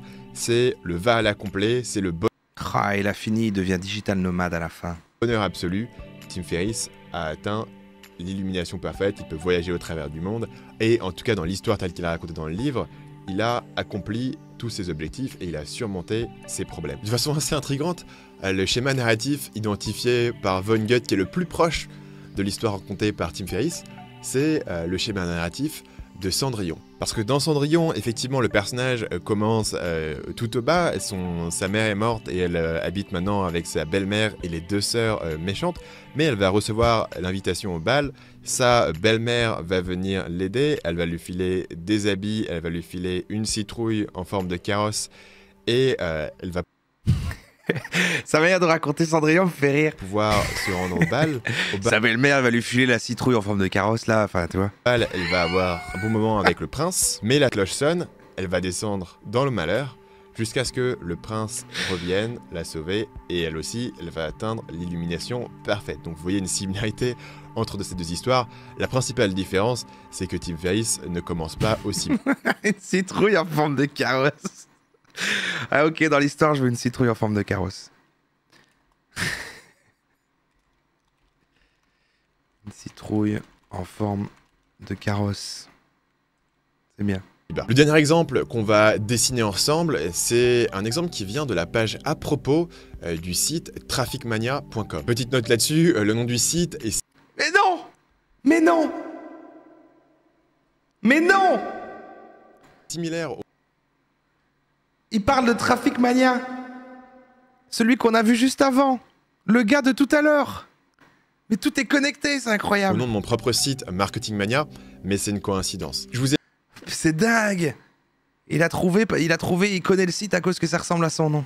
Mis euh, d'ailleurs le lien vers cette page à propos dans la description. Le Marketing Cinematic Universe. et je vous conseille très fortement d'aller la lire, elle est particulièrement intéressante, en plus d'être un exemple euh, très poignant de storytelling. Pour le moment, Ah donc il a, il a, il est- il a quand même le gars qu'on a vu tout à l'heure, qui était essoufflé devant son tableau, a quand même été adoubé par le loup. Décomposons ensemble l'histoire racontée par André? Donc dans cette histoire, euh, André Dubois commence plutôt bien, il trouve un bon job, il monte, il a une promotion, un bon salaire, Maniaverse, le Mania Cinematic euh, des enfants, tout se passe bien pour lui. J'aimais mon boulot, mais il y avait une petite voix qui disait sans arrêt monte ta boîte, monte ta boîte. Mais vous savez ce que c'est? On a son confort de vie, son train-train, sa voiture de fonction et une paye confortable qui tombe tous les mois. Pourquoi prendre un tel risque? Oh putain.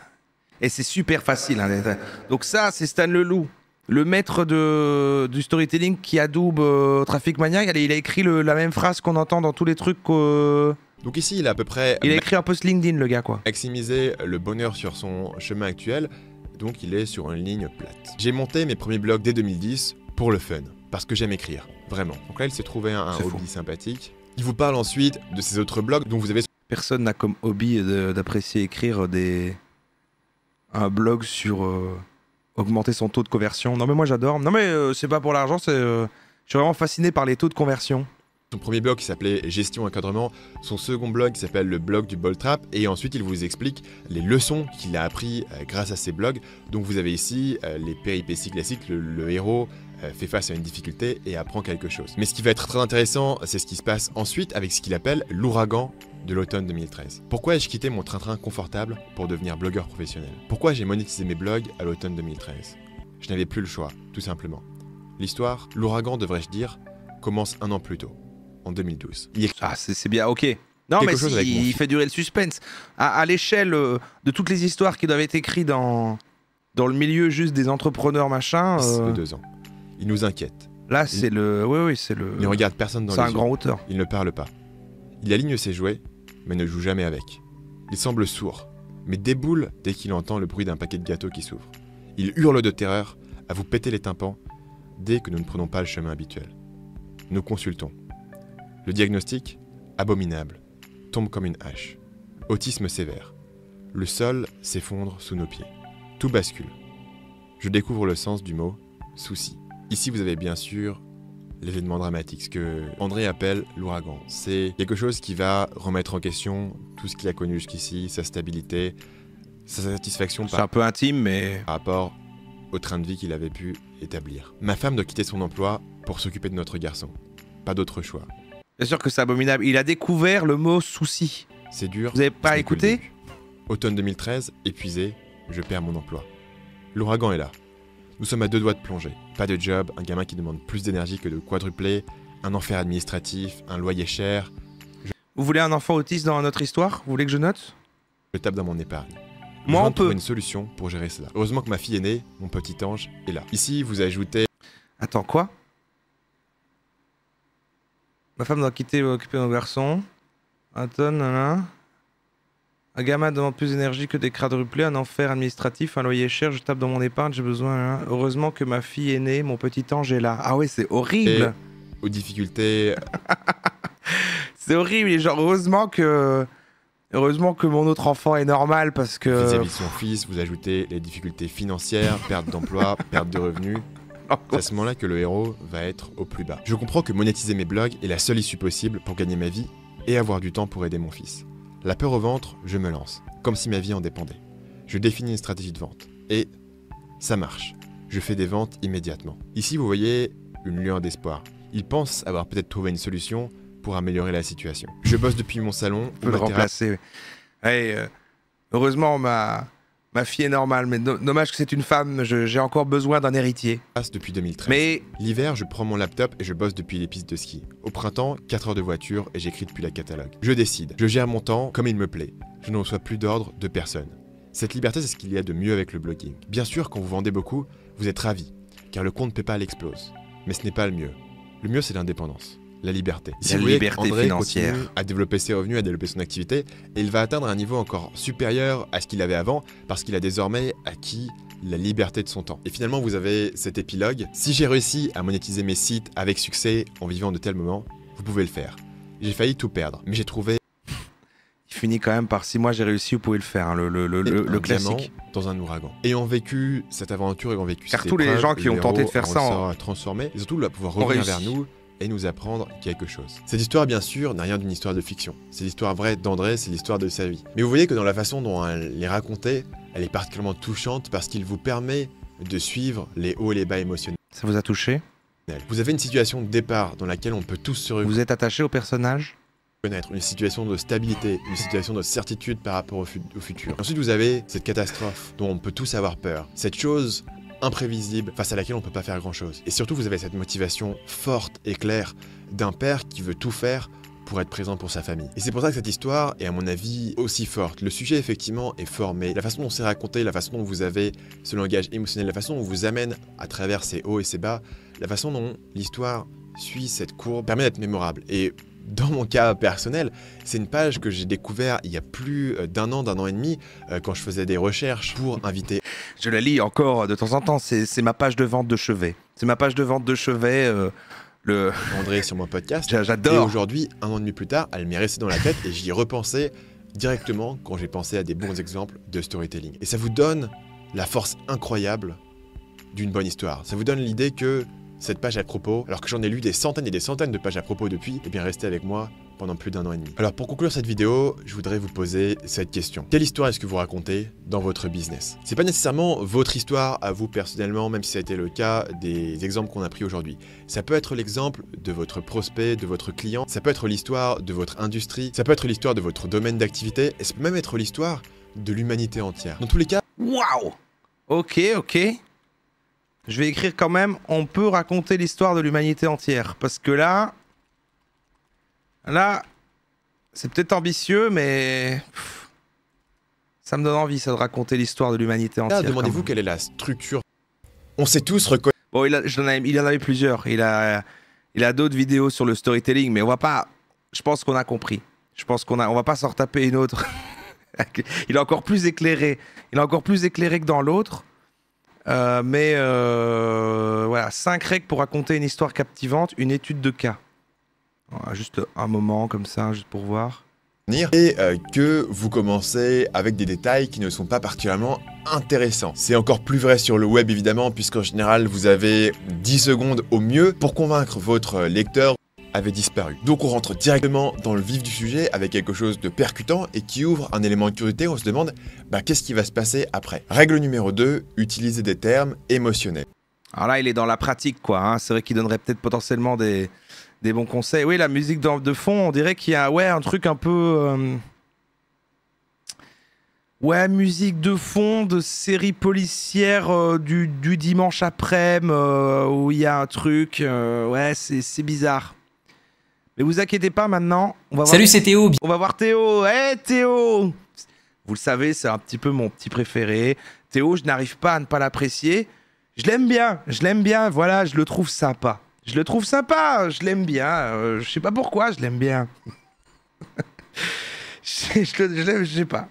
Voilà, euh, j'ai envie, envie de passer quand même un moment avec lui et je me dis, je suis sûr qu'on on aurait quelque chose à se dire. Je suis sûr qu'on. Je crois que c'est depuis les cartes Pokémon. hein. C'est depuis les cartes Pokémon, je sais pas, il a montré un peu d'humanité, quoi, un peu de. Voilà, quoi.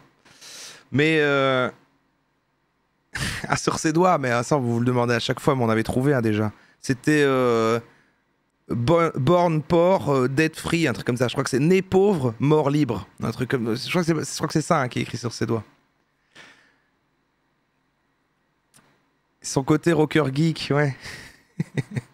ça. On voit qu'il est devenu, il a réussi à devenir riche et là il fait genre il est cool, mais je crois que peut-être euh, ado à l'école il était un peu comme nous, peut-être un peu loser. Il se faisait choisir en dernier au cours de gym. Je sais pas pourquoi, je, je, je, sais pas pourquoi. Je, sais pas. Choisissez Stan Leloup Théophile. Ah ouais, ah oui, ah il y a ok ok il y a un chouette débat. Il y a un chouette débat. Théophile, il est, il est vraiment dans cette niche. euh, je fais euh, l'entrepreneuriat pour les entrepreneurs, euh, machin. C'est pas- il, a, ce cas particulier. C'est pour ça qu'en créatif, l'avait pris comme rival. Il a ce cas particulier de je suis dans cette niche des entrepreneurs sur Internet, mais je- j'essaye de faire du contenu qui finalement va ramener énormément de monde et toucher le grand public. Lui continue à suivre ses règles que tout le monde suit, à, à part justement Stan de bah non, euh, les gens à qui je m'adresse, je dois les convertir en prospects, quoi. Mais là, il va nous expliquer comment écrire un livre avec ChatGPT et gagner des redevances. Alors on commence à s'éloigner du truc. Je pense que c'est la dernière vidéo avec des coachs. Après, si vous voulez, en deuxième partie là, j'ai mis deux trois vidéos en mode vraiment premier degré de gens qui vont donner des conseils d'écriture machin pour nous préparer vraiment pour jeudi. Si vous voulez qu'on regarde ça, on n'est pas du tout obligé. Mais c'est la dernière avec un coach ici. Mais en tout cas, après, sinon, si on regarde pas ça, je veux quand même qu'on, il faut qu'on, il se lance quoi. Il faut qu'on commence à voilà. Et C'était pour qu'il y ait un peu de sérieux aussi, quoi, pour qu'on puisse vraiment euh, partir sur un vrai truc jeudi, quoi. Parce qu'après, on va vraiment écrire une histoire, quoi. Donc, euh, voilà. Mais d'abord, comment on écrit un livre avec ChatGPT, euh, Théo? Bienvenue dans cette nouvelle vidéo. Aujourd'hui, je vais vous montrer comment faire pour donner des instructions à ChatGPT qui va ensuite vous créer un livre et on va publier ce livre sur Amazon Kindle Direct Publishing pour gagner des redevances de livres, ce qui s'appelle aussi des royalties. En plus, tu vois, il a, il a ce côté très franc de bah ouais, non, mais oui, voilà, euh, je, On est là pour faire du pognon. euh, avec ChatGPT, vous allez faire un livre automatiquement et puis le vendre sur Amazon et vous faites du pognon. allez, euh. Il y a cette sincérité finalement. Personnellement, je suis euh, auteur best-seller, donc du livre. Il est auteur best-seller. Il est auteur best-seller, le gars. qui s'appelle aussi des royalties. Personnellement, je suis euh, auteur best-seller, donc euh, du livre Libre, comment se créer des sources de revenus passifs avec un petit capital. Libre. C'est son livre libre. Comme sur euh, son point. Comment se créer des sources de revenus passifs avec un petit capital? Donc livre vendu à plusieurs dizaines de milliers d'exemplaires en auto-édition avec Amazon. Et je suis aussi le propriétaire d'une petite maison d'auto-édition où j'ai plus d'une centaine de livres que je n'ai pas écrits. Euh, j'ai engagé des rédacteurs pour écrire des livres et euh, l'ensemble de tous ces livres réunis, plus mon livre best-seller, j'ai gagné beaucoup d'argent avec ça, plusieurs euh, centaines de milliers d'euros avec ça. Et donc aujourd'hui, c'est finalement l'utilisation Tout simplement le GOAT. Tout simplement le GOAT. euh, de mes compétences, connaissances et mon expérience. Donc il a d'abord fait son livre libre qu'il a vendu sur Amazon. Et ensuite il s'est dit je vais créer une structure. Je prends plein de rédacteurs. Ils écrivent des livres très basiques à base de conseils de financiers machin euh, en mon nom. J'utilise mon nom pour le faire vendre. Et j'en vends à l'appel. Tac, au travers d'Amazon. Et là, il a, il a plein de petits hacks comme ça. expérience sur Amazon qui fait que je vais vous faire ces Il est vidéos sur tous les fronts, il est incroyable. sur le passage à l'action pour obtenir des résultats concrets. Donc je vous ai créé un plan d'action en six étapes et la première de ces six Il actionne, des, il actionne des leviers et les, les- les- les sous-tombes en fait. actions, ça va être de demander à ChatGPT de nous trouver finalement une liste Il a découvert le capitalisme. Mais non, mais il a, voilà, il a dit bah écoute, il y a des règles du jeu dans ce monde. Je ne vais m'occuper que de moi-même et je vais trouver tous les leviers possibles pour que ça génère des sous. C'est un choix de 10 vie. hein. de livres C'est un choix de vie. qui résolvent un besoin profond. Alors, j'ai demandé à ChatGPT, trouve-moi une liste de 10 idées de livres qui résolvent un besoin profond dans l'une de ces trois thématiques et trouve-moi un titre pour chaque idée de livre santé, finance, développement personnel. Alors, ces trois catégories, c'est les trois catégories qui rapportent le plus sur Amazon. Personnellement, avec euh, tous les livres que j'ai sur merde. Amazon, je vous le dis, dans l'ordre de ceux qui rapportent le plus, c'est religion et spiritualité, et ensuite ça va être santé, ensuite ça va être finance, et enfin ça va être développement personnel. Ah, c'est intéressant ça quand même. Donc la première catégorie euh, d'Amazon, des trucs comme ça, c'est religion et spiritualité. Donc euh, machin, voilà. euh, et c'est là-dedans que vont rentrer tous les trucs, toutes les thématiques qu'on fait euh, autour du New Age et tout ça. Parmi les siens, il dit là, ou juste parce qu'il a observé ça et qu'il avait. Parce que, que ce soit parmi les siens ou en général, ça change rien. Parce que connaissant le gars, il s'est dit bon, je vais créer des livres dans les catégories qui marchent le mieux par défaut parce qu'il faut en vendre un maximum. Donc pour moi, euh, voilà. Mais il a justement pas fait la catégorie lui euh, religion spiritualité et il a pris santé, euh, finance et développement personnel.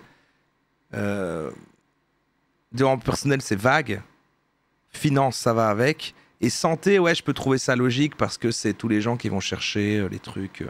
Et puis, en fait, ça va toucher quand même à des trucs bizarres sur la santé en mode New Age bizarre. Mais aussi, c'est beaucoup, j'imagine. Ouais, des, des- des routines de je sais pas quoi. euh. Et de toute façon, ça revient au thème qui, intéresse le plus les gens. hein. C'est comme chez les voyants, quoi. Euh, Comme quand tu vas chez un voyant euh, et que tu veux savoir ton avenir, machin, tu veux qu'on tire les cartes du tarot, c'est santé, argent, travail et amour, relation, machin, tout ça, quoi. Bon, là, c'est pas ça, c'est développement personnel à la place, mais c'est un peu la même chose, non? Donc la réponse de ChatGPT c'est, dans le domaine de la santé, il me donne deux idées de livres. Harmonie digestive, retrouver l'équilibre grâce à l'alimentation, un guide pour comprendre et améliorer sa digestion grâce à une alimentation adaptée. Le sommeil réparateur, technique et conseils pour des nuits paisibles, très bien. Dans le domaine de la finance, investir sans souci, guide pratique pour débutants en investissement, économie et astuces pour un quotidien plus serein. Alors je n'aime pas ce titre de livre parce qu'il est trop généraliste.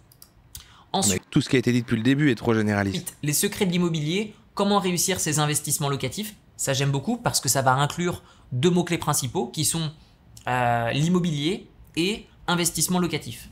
Je continue. La confiance en soi, un chemin vers l'épanouissement, pas mal. La puissance de la gratitude. Ça, c'est pas mal. ah, Ça, c'est pas, euh, c'est pas commun et plat, ça. J'aurais dit oui, bah ouais, euh, confiance en soi, chemin vers l'épanouissement. Ça, c'est un titre de livre original, de développement personnel. euh, on sort du lot avec ça. Tous ces trucs-là de gratitude, machin, ça paye pas sur internet, donc j'oublie. La puissance de la gratitude, transformer sa vie en appréciant le quotidien, ça paye pas sur internet, donc j'oublie, il dit. Il a un instinct de la thune, il renifle la thune partout, il comprend tout de suite, il lit, il voit un mot et il dit est-ce que ce mot me rapportera de l'argent?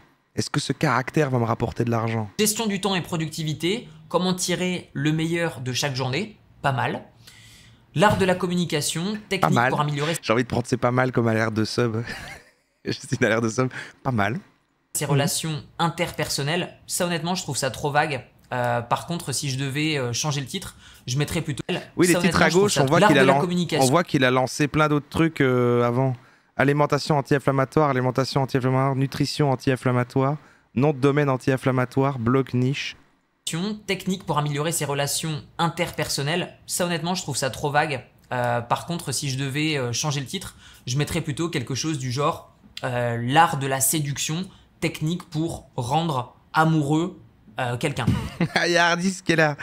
Je ne sais pas donner un seul conseil de rien du tout pour pas faire l'influx voleur et le frère fait des livres de finances sur ChatGPT. ah oui, mais non, mais. Par exemple. Il en a rien à foutre.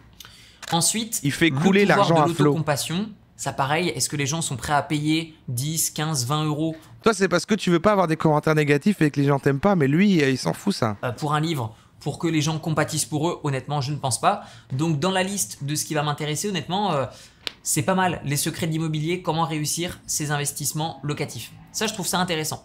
Et donc, du coup, maintenant que j'ai- ces, différentes, euh, ces différents titres euh, d'idées de livres, eh bien, étape numéro 2, il va être temps d'analyser finalement parce qu'il a une âme. Oh, les niches. Et Théophile, finalement, on croit là, il est bien, il est comme ça, mais il est dans la survie.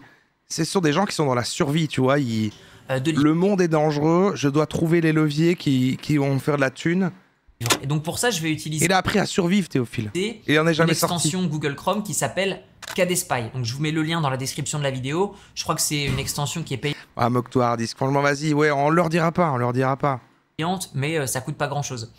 Je suis sur Amazon et maintenant je vais aller. Donc là, je suis par défaut dans la catégorie des meilleurs livres et ici sur Amazon dans la catégorie Choupi en top 3 quand même. hein.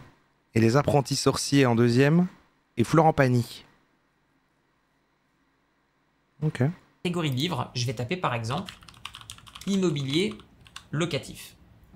Je clique sur entrée. Et là, il explique tout un processus. euh, ok, ok, c'est intéressant. On est complètement sorti de notre thématique de ce soir de raconter une histoire. hein. C'est parce que vu qu'on va sûrement utiliser un peu du chat GPT et qu'il y avait Théo et que je l'avais pas mis là, euh, je me suis dit c'est pas mal. Mais là, bon, il Et est là, dans il une méthode euh, pour faire des livres d'entrepreneurs. Les résultats sur l'immobilier locatif. Imaginez un peu tous ces livres qui existent là avec un, un visuel comme ça, euh, avec un picto. Qui achète ça? Qui lit ça? Et là, il me sort les Qui lit ces trucs? Avec à chaque fois une petite maison euh, en- en- euh, comme ça là. euh, et un truc écrit en grand avec l'investissement mobilier locatif intelligent, investir dans l'immobilier locatif. Ah, c'est vraiment des livres de besoin. C'est comme une recherche Google. c'est vraiment du SEO. genre comme quand tu vas chercher, quand on disait tout à l'heure, une recherche Google et que tu tombes sur l'article, machin, ben, les gens poussent ça jusqu'à un livre. Et puis les gens tapent ça euh, dans Google, ça tombe sur le lien du livre Amazon. Puis je dis, bah ouais, c'est vrai que j'ai envie de m'intéresser à ça. Je vais prendre le premier livre que je vois qui s'appelle comme ça. Je le lirai sûrement pas. euh, Voilà. les résultats sur l'immobilier locatif. Je clique sur le petit logo de Cadespy et là, Il a pas besoin d'être bien le livre, on s'en fout. Il faut qu'il soit juste bien référencé quoi, avec les il gens va me sortir tout simplement combien gagnent de redevances par mois les propriétaires de chacun de ces livres. Ce qui est intéressant, c'est que en bas à droite, il va me sortir finalement Il utilise un logiciel espion.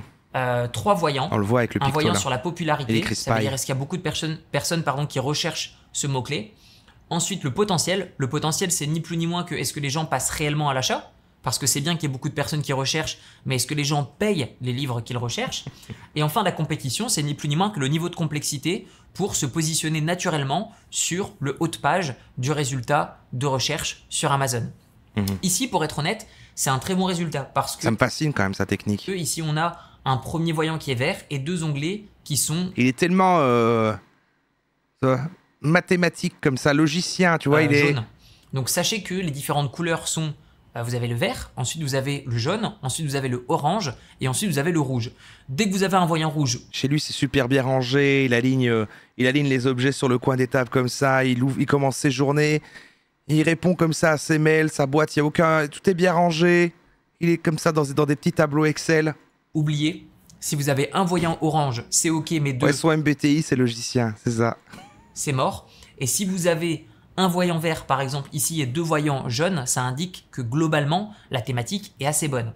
Si je retourne sur mes résultats finalement de thématique, je vais par exemple aller chercher confiance en soi. Je retourne sur Amazon, j'effectue ma recherche, confiance en soi. Il me sort les résultats, super. Je clique sur le petit logo Cadespy. C'est cynique comme démarche. hein. C'est cynique. il n'y a pas écrit poupe sur sa main, il a écrit poor. Et ici, il va me sortir les résultats. Donc vous avez différents onglets également euh, en bas de Cadespy, Kindle, Book ou Auto. Il est- En fait, lui, il sait à quel public il s'adresse et que c'est d'autres gens qui veulent faire de l'argent et il est dans le pratique. C'est dénué d'émotion, mais dans les deux sens, quoi. Mais là, il est quand même en train de faire, voilà, parce que bon, il y a tous les gens, là, comme ça, ils sont mal, ils veulent avoir confiance en eux, alors du coup, on regarde et on va trouver un titre pour faire un livre sur la confiance en soi, voilà. euh, audiobook, pardon, euh, il faut rester dans la catégorie book. Book, c'est format papier. Sachez que 90% des ventes sur Amazon que vous allez faire, c'est au format papier. Vous n'avez pas besoin d'avoir de stock quand vous vendez des livres sur Amazon. Euh, vous avez simplement besoin d'uploader finalement la version PDF de votre livre sur Amazon et Amazon va imprimer à la demande vos livres. Et c'est gratuit en plus de ça. Donc là, en l'occurrence, c'est un très bon exemple sur la confiance en soi. On voit qu'en termes de popularité, beaucoup de gens recherchent. En tout cas, c'est un gars, si tu lui demandes à déménager, tu viens, viens pas m'aider à déménager, il te répond, c'est pas mon problème. confiance en soi sur Amazon. Ça, c'est Théo, le potentiel, bah, les gens achètent, mais par contre, on Mais voit si tu veux, j'ai un livre. j'ai écrit un livre. Enfin, je l'ai pas encore écrit, mais je l'ai écrit cette nuit. Qui aide à bien déménager. compétition, c'est rouge. Ça veut dire que la compétition est très euh, forte. Et donc, sur ce type de thématique, bah, je vais pas essayer de me positionner parce que je vois qu'il y a déjà pas mal de livres qui sont déjà bien Et positionnés donc, c'est pas un créneau à prendre euh, parce que voilà. Ah ouais, c'est malin. hein. avec beaucoup de notes et ça va être compliqué de C'est vraiment, il y a une méthode quoi. Bah, il applique ce même genre de délire pour ses vidéos aussi. C'est pour ça qu'il est sur tous les fronts et tous les sujets. À chaque fois qu'on fait un sujet en live, on le trouve dans la playlist parce qu'il a testé tous les sujets possibles euh, liés à l'entrepreneuriat, l'argent, les trucs, enfin tous les thèmes que nous on va regarder aussi. Et puis dès que il y en a qui n'ont pas fait de vue et tout, la vidéo elle existe mais il n'a pas continué. Et puis après il va ok dans cette niche là ça marche bien, tac, je, je poursuis, je développe. Bah, Il y, a, il y a- y a une méthode de développement comme ça, il est il y a, il y a rien qui est laissé au hasard en fait. Il y a, y y ça, ça, tu vois ça. Et là comme ça. me positionner sur ce mot-clé. Donc là, ce que je vais faire, c'est que je vais tout simplement rechercher euh, bah, les mots-clés Un vrai renard. Euh, principaux de chaque titre d'idée de livre qu'il m'a donné. Et euh, bah, pour cet exemple, pour cette Bah écoute, c'est intéressant. Bon, on, va, on va quand même y aller. Hein. C'est bon, créer un sommaire de livre avec ChatGPT, créer les chapitres du livre avec ChatGPT, utiliser une couverture avec, avec Midjourney. Ah oui, il fait là aussi la couverture avec Midjourney, bah oui. pas mal. Euh, J'aime bien celle qui est en haut à gauche. Sur la T'as les IA là qui sont arrivés, ça a tellement encore fa- facilité les, le- les, les trucs de, de ces gens-là. deuxième, Regardez, il a que un Discord. voyons la première. Hmm, ok, c'est pas Il a son Discord et Midjourney. mal. Euh, J'aime bien euh, celle qui est en haut à gauche. Sur la deuxième, qu'est-ce qu'il m'a produit? Par exemple. Et Bah, il utilise les outils qui existent euh, pour faire ça. hein. c'est ça votre problème. C'est à cause de ça que vous aurez, vous serez jamais riche parce que vous avez trop d'éthique. Voilà. pour l'impression. Alors, Et ouais. alors, qu'est-ce que c'est que ça? Une euh, couverture de livre, donc vous avez plein de différents formats, mais le format le plus connu, c'est le format 6 sur 9 euh, PO. Il explique tout, hein. jusqu'à la fin de sa vidéo en 15 minutes, il y a même le- l'upload du truc. euh. Et les chapitres, ça se passait comment? Grâce aux solutions présentées dans le livre, donc du coup bah, l'immobilier locatif, le but de l'auteur est d'aider Écrire les chapitres les uns après les autres, chaque chapitre doit contenir au minimum 1000 mots. Écrit comme si tu es un professionnel de l'immobilier locatif qui s'appelle Théophile Hélier. Écrit le livre d'une manière authentique avec un ton rassurant et professionnel. Plus de détails sur l'auteur. Ah ouais, c'est hallucinant. hein. C'est vrai que maintenant, ils ont même plus à, à prendre un rédacteur qui va, qui va vite écrire ça. Ah, c'est dingue. d'autres personnes à.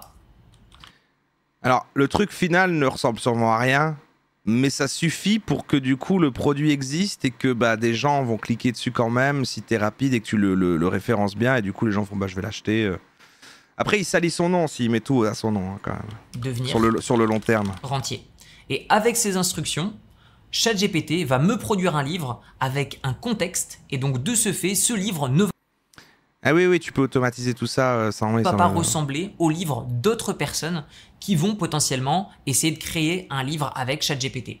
Si je clique sur Entrée et que je valide ma commande, la réponse que j'obtiens d'ailleurs est un peu surprenante. Cher utilisateur, en tant qu'intelligence artificielle, je ne suis pas en mesure de vous fournir un texte complet de 30 chapitres avec un minimum de 1000 mots par chapitre. Cependant, je peux vous aider à développer les idées de chaque La réponse est un peu surprenante. C'est bizarre, il me, il me pompe pas un livre chapitre et entier. vous donner un aperçu de ce qu'il pourrait contenir. Voici un exemple pour Ouais mais il peut faire chapitre par chapitre quoi. pour le premier chapitre du livre. Bon, il me dit que visiblement il peut pas le faire, mais il le fait quand même. Donc, chapitre 1, introduction, pourquoi investir dans l'immobilier locatif Cher lecteur, je m'appelle Théophile Hélier, je suis un professionnel de l'immobilier locatif. Mon parcours n'a pas toujours été facile. Il y a ça quelques années, j'étais pauvre, je n'avais pas de revenus passifs. Ma vie a changé lorsque j'ai Il y a un petit storytelling, il est là. découvert les secrets de l'investissement immobilier. Aujourd'hui, mise en situation euh, je suis indépendant financièrement et mon objectif est de partager mon expérience et mes connaissances avec vous afin de vous aider à devenir rentier. Dans ce chapitre, blablabla, blablabla, et là il commence à euh, m'écrire finalement l'introduction de ce livre. Donc méfiez-vous, si je sors un livre sur l'investissement immobilier locatif, vous direz merci à ChatGPT. Non, plus sérieusement, euh, ça le fait marrer. euh, bah, vous voyez que simplement avec ces quelques commandes Comment ça plus sérieusement, c'est vraiment ça que tu fais va donner à ChatGPT, si on les écrit proprement et qu'on lui donne un maximum d'informations sur le contexte et sur l'histoire, sur du storytelling, eh bien, il est à même de nous produire un livre qui va être unique, avec des informations avec le plus de véracité possible. Une fois que vous aurez demandé à ChatGPT de vous écrire ces 30 articles, eh bien, il sera temps de demander maintenant à Midjourney de nous créer une couverture. Alors on en revient à ce que j'ai mis tout à l'heure. J'ai envie de générer des, formations pour devenir riche avec ChatGPT, pour apprendre aux gens à devenir riche avec ChatGPT. C'est sûr que des gens l'ont fait. Parce qu'au moment où, il y a, tout le monde parlait de ChatGPT, il y a plein de vidéos, plein de gens qui ont fait des, vidéos là-dessus. Genre Yomi Denzel, il a fait pas mal de vidéos sur ChatGPT. euh. Et euh, bah, c'est sûr que bah, les gens, vu que c'est un peu la même manière que quand il y avait les, les gens qui vendaient des formations, ils vendaient des formations sur comment vendre des formations. Bon bah là, ceux qui ont un peu chipoté, qui ont fait l'effort d'apprendre ChatGPT, ils se sont dit bah alors après, je vais demander à ChatGPT de générer euh, des conseils pour euh, utiliser ChatGPT, euh, qui explique comment utiliser ChatGPT. Et ainsi de suite, quoi, en fait. C'est dingue, c'est dingue. Bon, vu qu'on a fini la partie là entrepreneur, est-ce que on clôturerait pas ce qu'on vient de voir là sur l'aspect storytelling des coachs business du web et tout et on fait la conclusion et puis nous ensemble on regarde ceux que j'ai là en bonus qui sont maintenant le fait d'introduire notre live de jeudi où on écrira une, histoire ensemble euh, qui n'a rien à voir avec les entrepreneurs c'est confus mais est-ce que là je lancerai pas le What did we learn today? Est-ce que c'est pas ça que je devrais faire? On peut demander à ChatGPT un livre, comment écrire un livre sans ChatGPT? Bien aussi.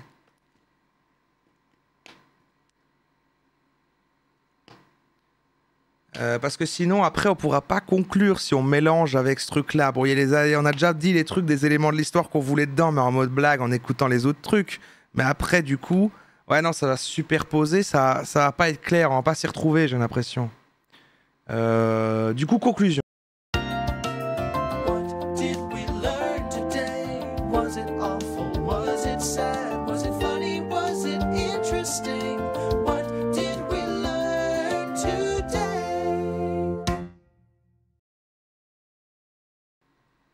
Ok.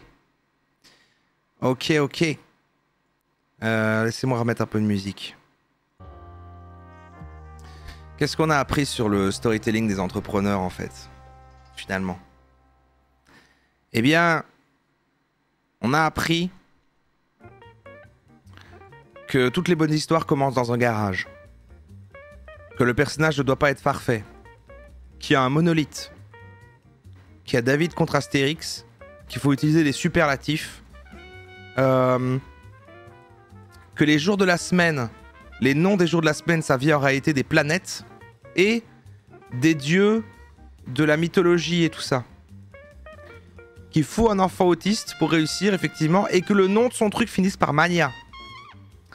Que le début, dans le début de l'histoire, le héros sauve un chat. Qu'il faut mentir. Il faut un vieux.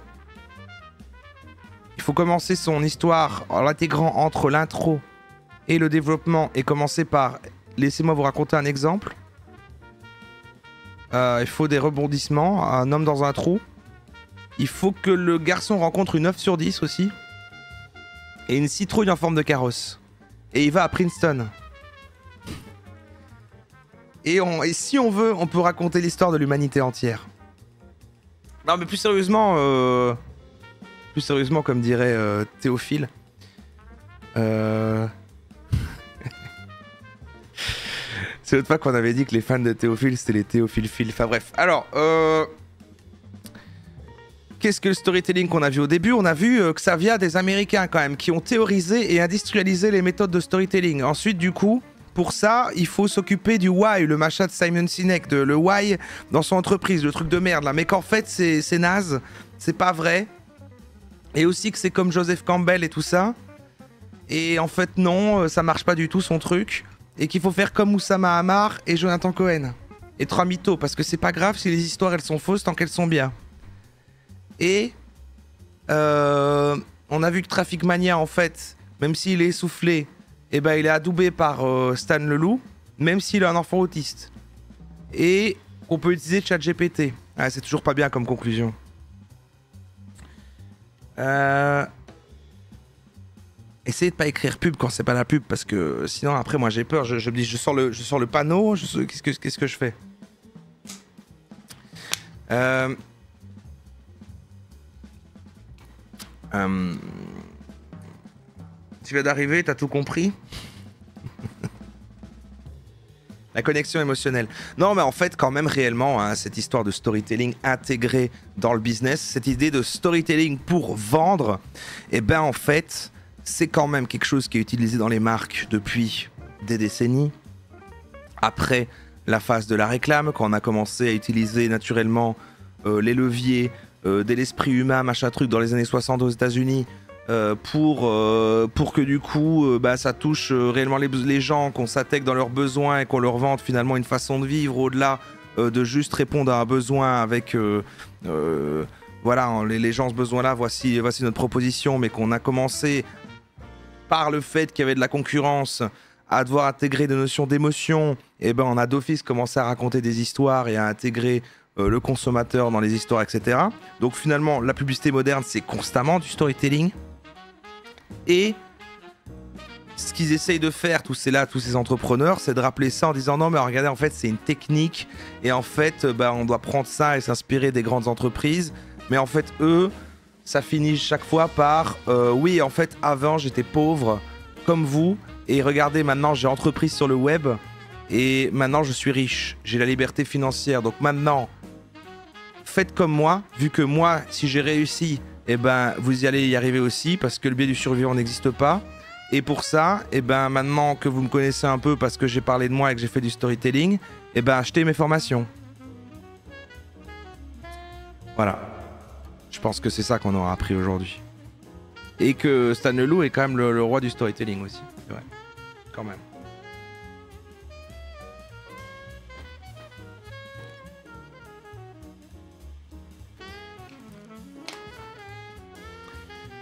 Ouais, ouais, ouais. Ok. Y a pas un festival des meilleures pubs de l'année à Bruxelles chaque année? Ah, Tu veux dire la, nuit des publivores?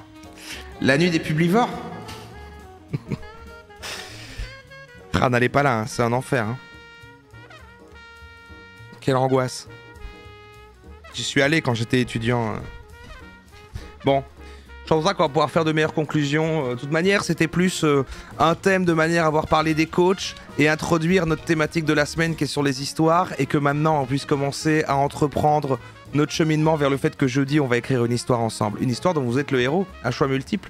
Je sais pas si ce replay, la team replay, va sortir avant ce jeudi. Euh, mais il y a des chances que oui, il y a des chances que je le sor- sorte demain. Du coup, Si vous le voyez là, et bah passez jeudi pour qu'on fasse ça, d'accord? Allez, bisous YouTube.